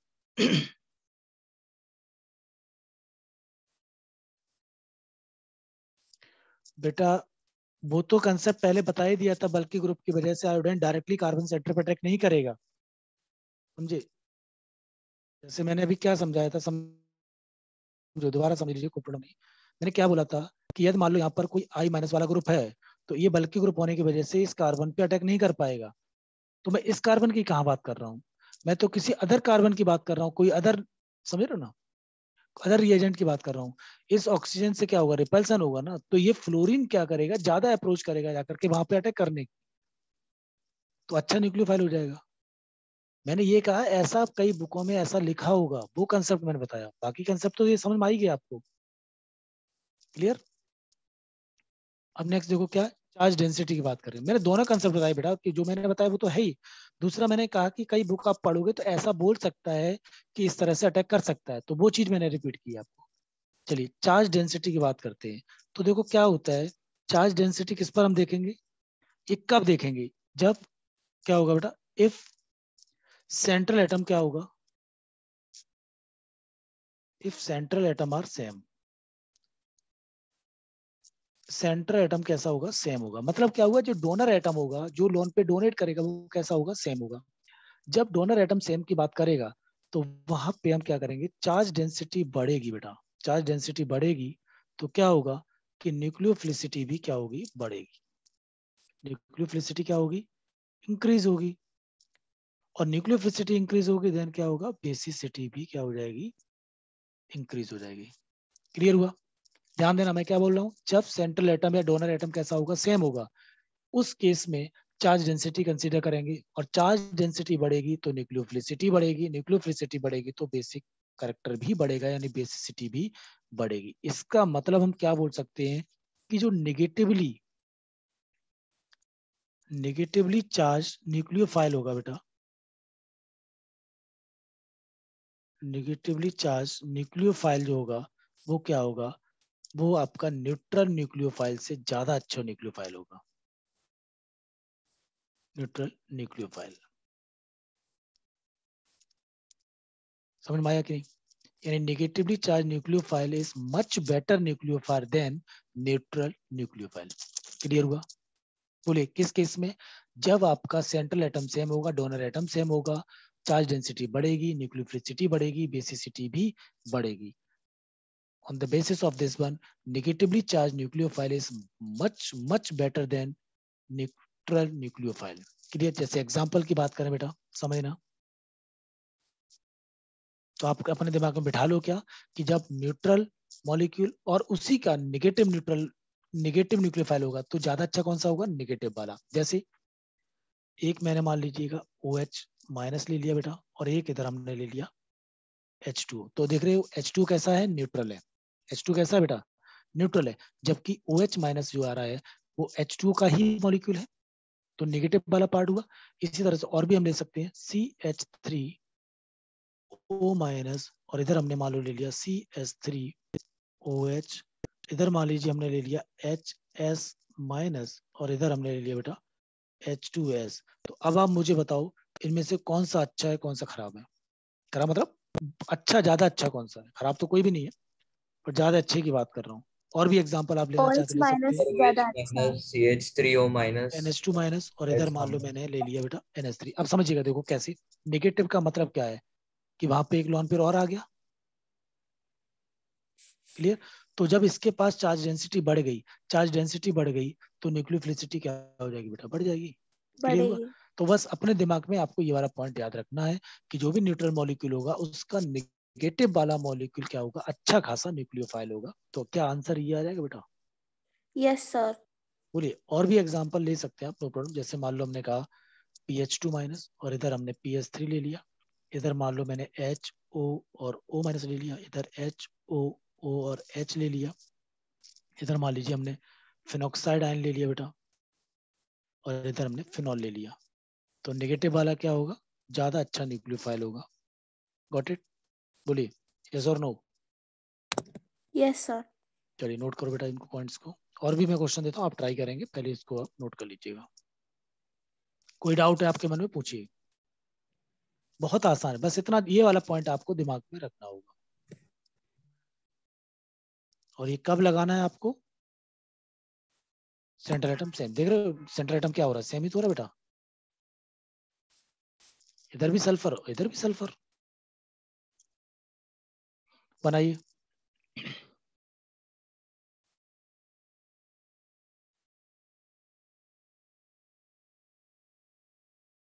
तो मैं दोनों में से किसी का भी ऑर्डर पूछ सकता हूँ न्यूक्लियोफिलिसिटी का भी और बेसिसिटी का भी। मतलब इस केस में न्यूक्लियोफिलिसिटी और बेसिसिटी का ऑर्डर क्या हो जाएगा बेटा? सेम हो जाएगा।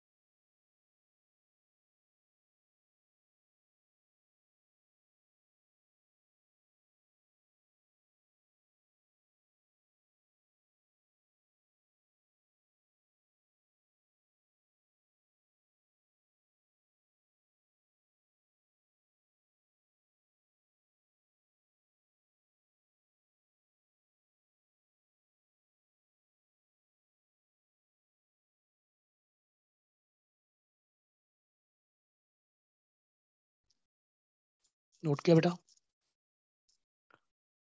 कोई भी डाउट है आपके मन में, पूछिए बेटा। कोई दिक्कत नहीं, बहुत आसान चीज़ें बता रहे हैं। बहुत ही आसान है, जल्दबाजी कुछ नहीं, बिल्कुल भी। क्योंकि ये सब चीज़ें बाद में प्रॉब्लम क्रिएट करेंगे तो आप नहीं समझेंगे अच्छे से तो।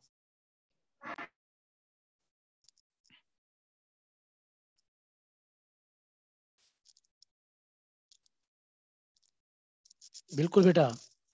न्यूक्लियोफाइल न्यूट्रल होता है और निगेटिव होता है। पॉजिटिव की बात ही नहीं की थी बेटा तो पॉजिटिव वाली बात यहाँ पर नहीं करेंगे ओके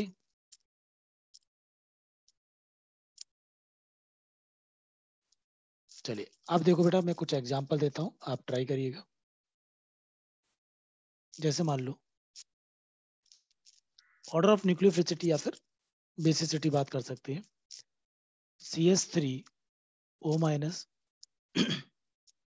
H O minus यानी ओ एच माइनस और इधर हमने क्या ले लिया बेटा? फिनोक्साइड आयन क्लियर पहला क्वेश्चन अब किसी का भी ऑर्डर जो भी बताया ऑर्डर ऑफ़ न्यूक्लियोफाइल या फिर ऑर्डर ऑफ़ न्यूक्लियोफिलिसिटी बोल सकते हैं, या फिर क्या बोल सकते बेटा? बेसिसिटी क्लियर बेसिसिटी दूसरा, और एग्जांपल लेता हूँ। Phenoxide ion CS3 C double bond O minus CF3 C double O minus CF3 S double bond double bond O और ये O minus थर्ड फिनॉक्साइड है, और इधर हमने क्या ले लिया बेटा? NO2 पैरा पोजिशन पे, और इधर हमने सिर्फ़ और सिर्फ़ फिनोक्साइड आयन लिया।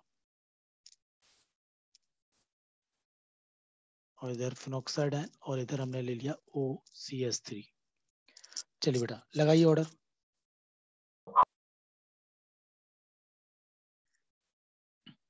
इलेक्ट्रॉन डेंसिटी के बेस पे है ना on the basis of electron density जो अभी मैंने कंसेप्ट बताया, उसी के बेस पे बात कर रहा हूँ।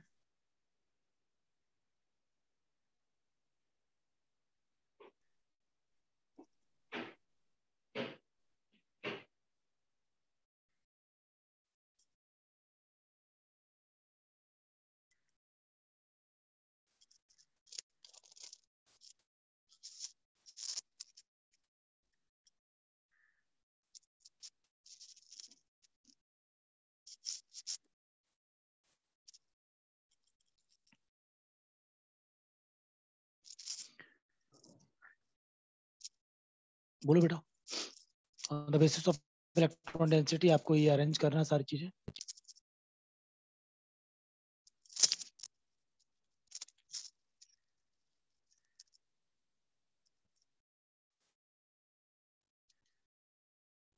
बताइए तो एक क्वेश्चन में करके बताता हूँ देखो कोई दिक्कत नहीं। हाँ, देखिए मान लो ये क्वेश्चन की बात करूँ देखो ध्यान से। नहीं बेटा प्रीति देखिए ध्यान से समझो है ना? ये मान लीजिए ऑक्सीजन पे आपको पता है एक नेगेटिव चार्ज आने की वजह से एक लोन पे बढ़ गया। तो अब आप मुझे बताइए क्या ये जो नेगेटिव चार्ज है क्या ये इधर मूव कर सकता है? बोलो। करेक्ट बेटा सृष्टि वेरी बेटा। करेक्ट आंसर है। तो ये इधर मूव करेगा तो क्या ये वाला जो लोन डबल बॉन्ड है इधर मूव करेगा? बताइए मुझे। मूव करेगा? यस यस अब ये वाला नेगेटिव चार्ज है ध्यान से समझे ना तो यहाँ पर तो नेगेटिव चार्ज इस पर और इस वाले पे बराबर बराबर है अभी फ़िलहाल में क्लियर तो एच का तो कोई इफ़ेक्ट होगा नहीं बट यहाँ पर आप जो देख रहे हैं सी एस थ्री वाला है क्या ये प्लस आई इफ़ेक्ट दे सकता है यानी कि इलेक्ट्रॉन डोनेट कर सकते हैं? yes, तो इन दोनों में कंपैरिजन की बात करूँ क्या ऑक्सीजन पर इलेक्ट्रॉन डेंसिटी कम बढ़ेगी या ज़्यादा हो, कम होगी? बढ़ेगी। क्यों? सी एस थ्री क्या कर रहा है? अपना इलेक्ट्रॉन डोनेट करना ना इलेक्ट्रॉन डोनेटिंग कैपेसिटी आ रही है इसकी। तो इस वाले ऑक्सीजन पर और इस वाले ऑक्सीजन पर इस पर तो सेम रह गया। क्योंकि एच अपना कोई इफ़ेक्ट नहीं डाल पा रहा है। लेकिन यहाँ पर सी अपना इफ़ेक्ट डालने की वजह से ऑक्सीजन पे क्या हो रहा है? लॉन पेयर बढ़ रहा है। और लॉन पेयर बढ़ रहा है। इलेक्ट्रॉन डेंसिटी बढ़ रही है। तो अब आप मुझे बताइए इधर जो ऑक्सीजन पे तो इलेक्ट्रॉन डेंसिटी थी वो क्या हो रही कम हो रही क्यों? क्योंकि ये रेजोनेंस में जा रहा है इलेक्ट्रॉन पेयर तो यहाँ पे इलेक्ट्रॉन डेंसिटी क्या हुई बेटा? इलेक्ट्रॉन डेंसिटी जो हुई है यहाँ पर क्या हो गई? कम हो गई। और इलेक्ट्रॉन डेंसिटी यहाँ पे क्या हो रही है? एक ही सबसे इलेक्ट्रॉन डेंसिटी क्या हो रही है बेटा? यहाँ पर बढ़ रही है। तो इलेक्ट्रॉन डेंसिटी बढ़ने की वजह से न्यूक्लियोफिलिसिटी बढ़ गई और बेसिसिटी भी क्या हो गई? इंक्रीज तो आंसर क्या होगा बेटा? क्या एबीसी हुआ कि नहीं? Yes sir solution correct answer दिया प्रीति बेटा है ना? आपने उल्टा आंसर दिया कोई दिक्कत नहीं। बट इसी कंसेप्ट को आप यहाँ पे लगाइए। सेम कंसेप्ट को आप यहाँ पे लगाइएगा। देखो ध्यान से। इधर देखो सेम वही चीज़। क्या ये रेजोनेंस में जाएगा? क्या ये रेजोनेंस में जाएगा? क्या ये रेजोनेंस में जाएगा कि नहीं जाएगा, बोलो। तो ऑक्सीजन पे जो इलेक्ट्रॉन पेयर था, वो तीन तीन ऑक्सीजन पे क्या हो रहा है? मूव कर रहा है। वो तीन तीन ऑक्सीजन एटम पे क्या हो रहा है बेटा? मूव कर रहा है, यानी कि ज़्यादा रेजोनेंस हो रहा है। क्लियर हुआ कि नहीं? बोलो। जब ज़्यादा रेजोनेंस होगा, ज़्यादा इलेक्ट्रॉन डेंसिटी डिस्पर्स हो जाएगी तो इसके पास इलेक्ट्रॉन डेंसिटी क्या हुई? इस वाले कंपाउंड के पास थोड़ी सी कम हुई। बोलिए, इस ऑक्सीजन एटम के पास। यहाँ पर क्या हो रहा है? दो दो ऑक्सीजन के पास जा रहा है। इधर भी आपका दो दो ऑक्सीजन के पास जा रहा है। और इधर सिर्फ़ क्या हो रहा है बेटा? बोलिए ये इधर मूव कर रहा है इस तरह से। इधर तीन ऑक्सीजन इधर दो ऑक्सीजन इधर दो ऑक्सीजन एटम पे जा रही है इलेक्ट्रॉन डेंसिटी और इधर सिर्फ़ और सिर्फ़ एक ऑक्सीजन एटम पे जा रही है। तो अब आप मुझे बताइए कि इलेक्ट्रॉन डेंसिटी कहाँ ज़्यादा हो रही है कहाँ नहीं? लास्ट में ज़्यादा हो रही है। वेरी गुड बेटा अमन का करेक्ट आंसर है नहीं अब लास्ट में ज़्यादा हो ही नहीं रही ना क्योंकि ये तो तीन जगह डिस्पर्स कर रहा है ना बेटा। सोचो तीन तीन जगह डिस्पर्स कर रहा है। तो इस पे तो कम ही होगी ना। फ़र्स्ट में। भाई फ़र्स्ट में तो सिंपल एक ही है। तो यहाँ पर सबसे ज़्यादा होगी। और इसमें सबसे कम हो जाएगी क्योंकि तीन तीन ऑक्सीजन पे इलेक्ट्रॉन जा रहा है ना इसका। नहीं समझे बेटा। भाई लास्ट वाले में आप देखो ये तीन तीन ऑक्सीजन पे रेजोनेंस जा रहा है। तो उस वजह से इलेक्ट्रॉन डेंसिटी क्या हो रही है? कम हो रही है ना। वेरी गुड बेटा सानिका। करेक्ट आंसर एबीसीडी अब देखो इन दोनों में दिक्कत आ रही है। क्यों? क्योंकि यहाँ पर भी दो ऑक्सीजन है एक और दो ऑक्सीजन पे जा रहा है इधर भी आपका दो ऑक्सीजन पे जा रहा है। अब आप मुझे बताइए बी और सी में से किसका ज़्यादा होगा? बताइए। बी का ज़्यादा होगा। बी का ज़्यादा क्यों होगा? समझ में आ रहा होगा आपको? क्योंकि ये देख रहे हो बेटा। कि नहीं? ये हाँ। तो इस वजह से इलेक्ट्रॉन डेंसिटी क्या होगा कि सी एस थ्री एक इलेक्ट्रॉन डोनेटिंग ग्रुप है। तो ये क्या कर रहा है? इसको है ना? और ज़्यादा ताकत दे रहा है कि ऑक्सीजन की भाई इस लोन पेयर को कि हाँ भाई किसी कार्बन एटम पे आराम से तू क्या कर सकता है? अटैक कर सकता है। क्लियर हुआ? तो और ये क्या कर रहा है? ये खींच रहा है अपनी तरफ़।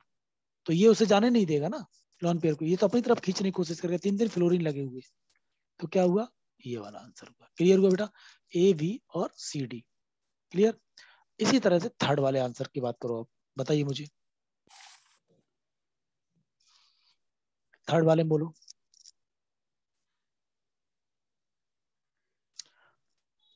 में बी सबसे ज़्यादा होगा। बी सबसे ज़्यादा होगा। क्यों भाई? बी सबसे ज़्यादा क्यों होगा बेटा? बताओ मुझे। क्योंकि एक ऑक्सीजन आ रहा है आप यही कहना चाह रहे हो ना? यस सर तो अब आप मुझे ये बताइए सारे ये फिनोक्साइड सभी कॉमन है ठीक है ना? यहाँ पर ये NO2 ग्रुप लगा हुआ है। तो NO2 जो ग्रुप होता है बेटा आपको पता है पैरा पोजिशन पे कैसा होता है? माइनस एम इफ़ेक्ट शो कर रहा है और माइनस आई भी कर लेता है। क्लियर हुआ। तो माइनस एम वाले या माइनस आई वाले क्या करते हैं? ये इलेक्ट्रॉन को विड्रॉ करते हैं। तो NO2 क्या करेगा? इस ऑक्सीजन के लॉन पेयर को बेटा क्या करेगा? क्या करेगा? खींचेगा? कि नहीं? तो यानी कि इस बेंजीन की तरफ़ इलेक्ट्रॉन डेंसिटी बढ़ रही है।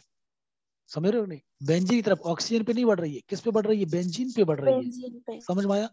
यहाँ पर भी देखो क्या हो रहा है। कि यहाँ पर भी बेंजीन क्या करेगा? खींच लेगा इसको इस तरह से। क्लियर हुआ?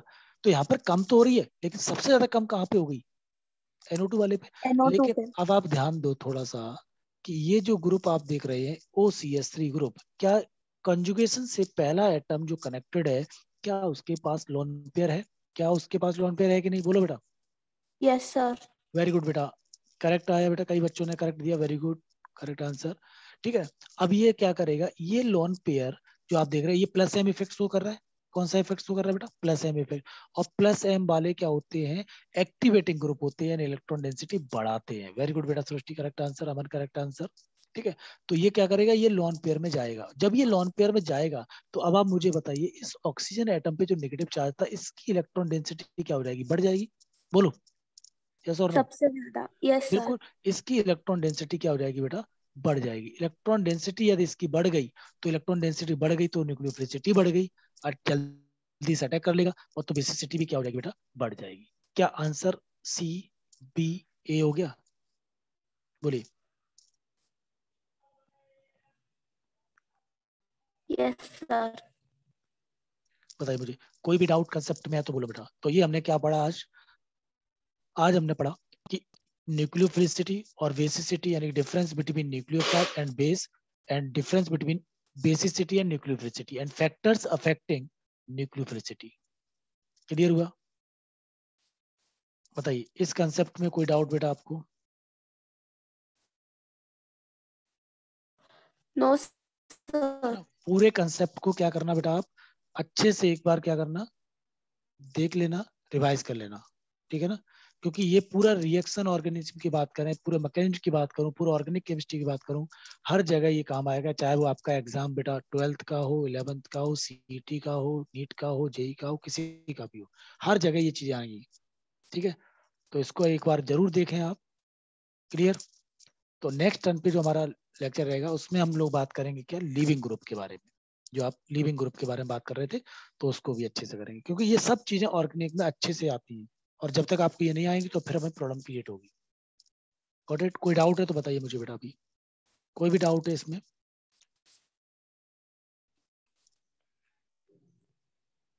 नो सर चलिए नोट कर लीजिए बेटा।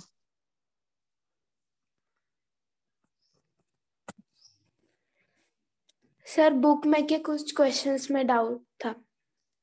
हाँ अभी पूछ सकते हो कोई दिक्कत नहीं बेटा डाउट है तो।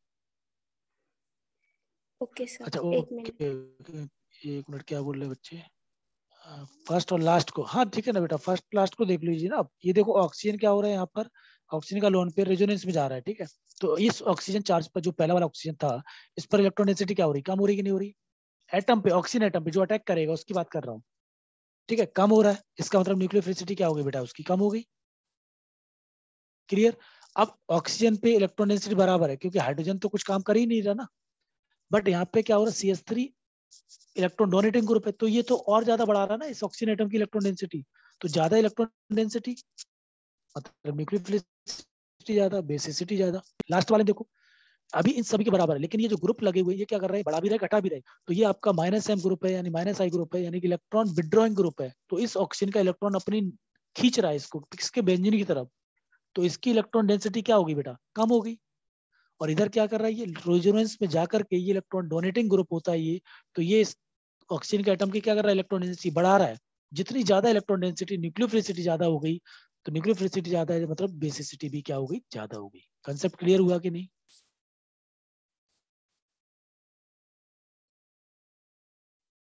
ठीक है चलिए कोई नहीं बाकी नेक्स्ट टर्न पे बात करेंगे बेटा। ठीक है समीक्षा बाद में पूछना बेटा ना? बाकी अभी आप सर व्हाट्सएप कर देती हूँ। हाँ कोई दिक्कत नहीं बिल्कुल बेटा मुझे भेज दो मैं आपको आंसर दे दूँगा प्रॉब्लम ना कोई दिक्कत नहीं। Yes, sir. जो भी डाउट है मुझे सेंड कर दीजिएगा मैं बताता हूँ आप ठीक है? अभी आप ब्रेक लीजिए और उसके बाद नेक्स्ट क्लास के लिए रेडी करिए। बाकी एक बार पार्टी ज़रूर लेना बेटा क्योंकि बहुत इंपॉर्टेंट है बेटा ठीक है ओके थैंक यू बेटा। बाय बेटा।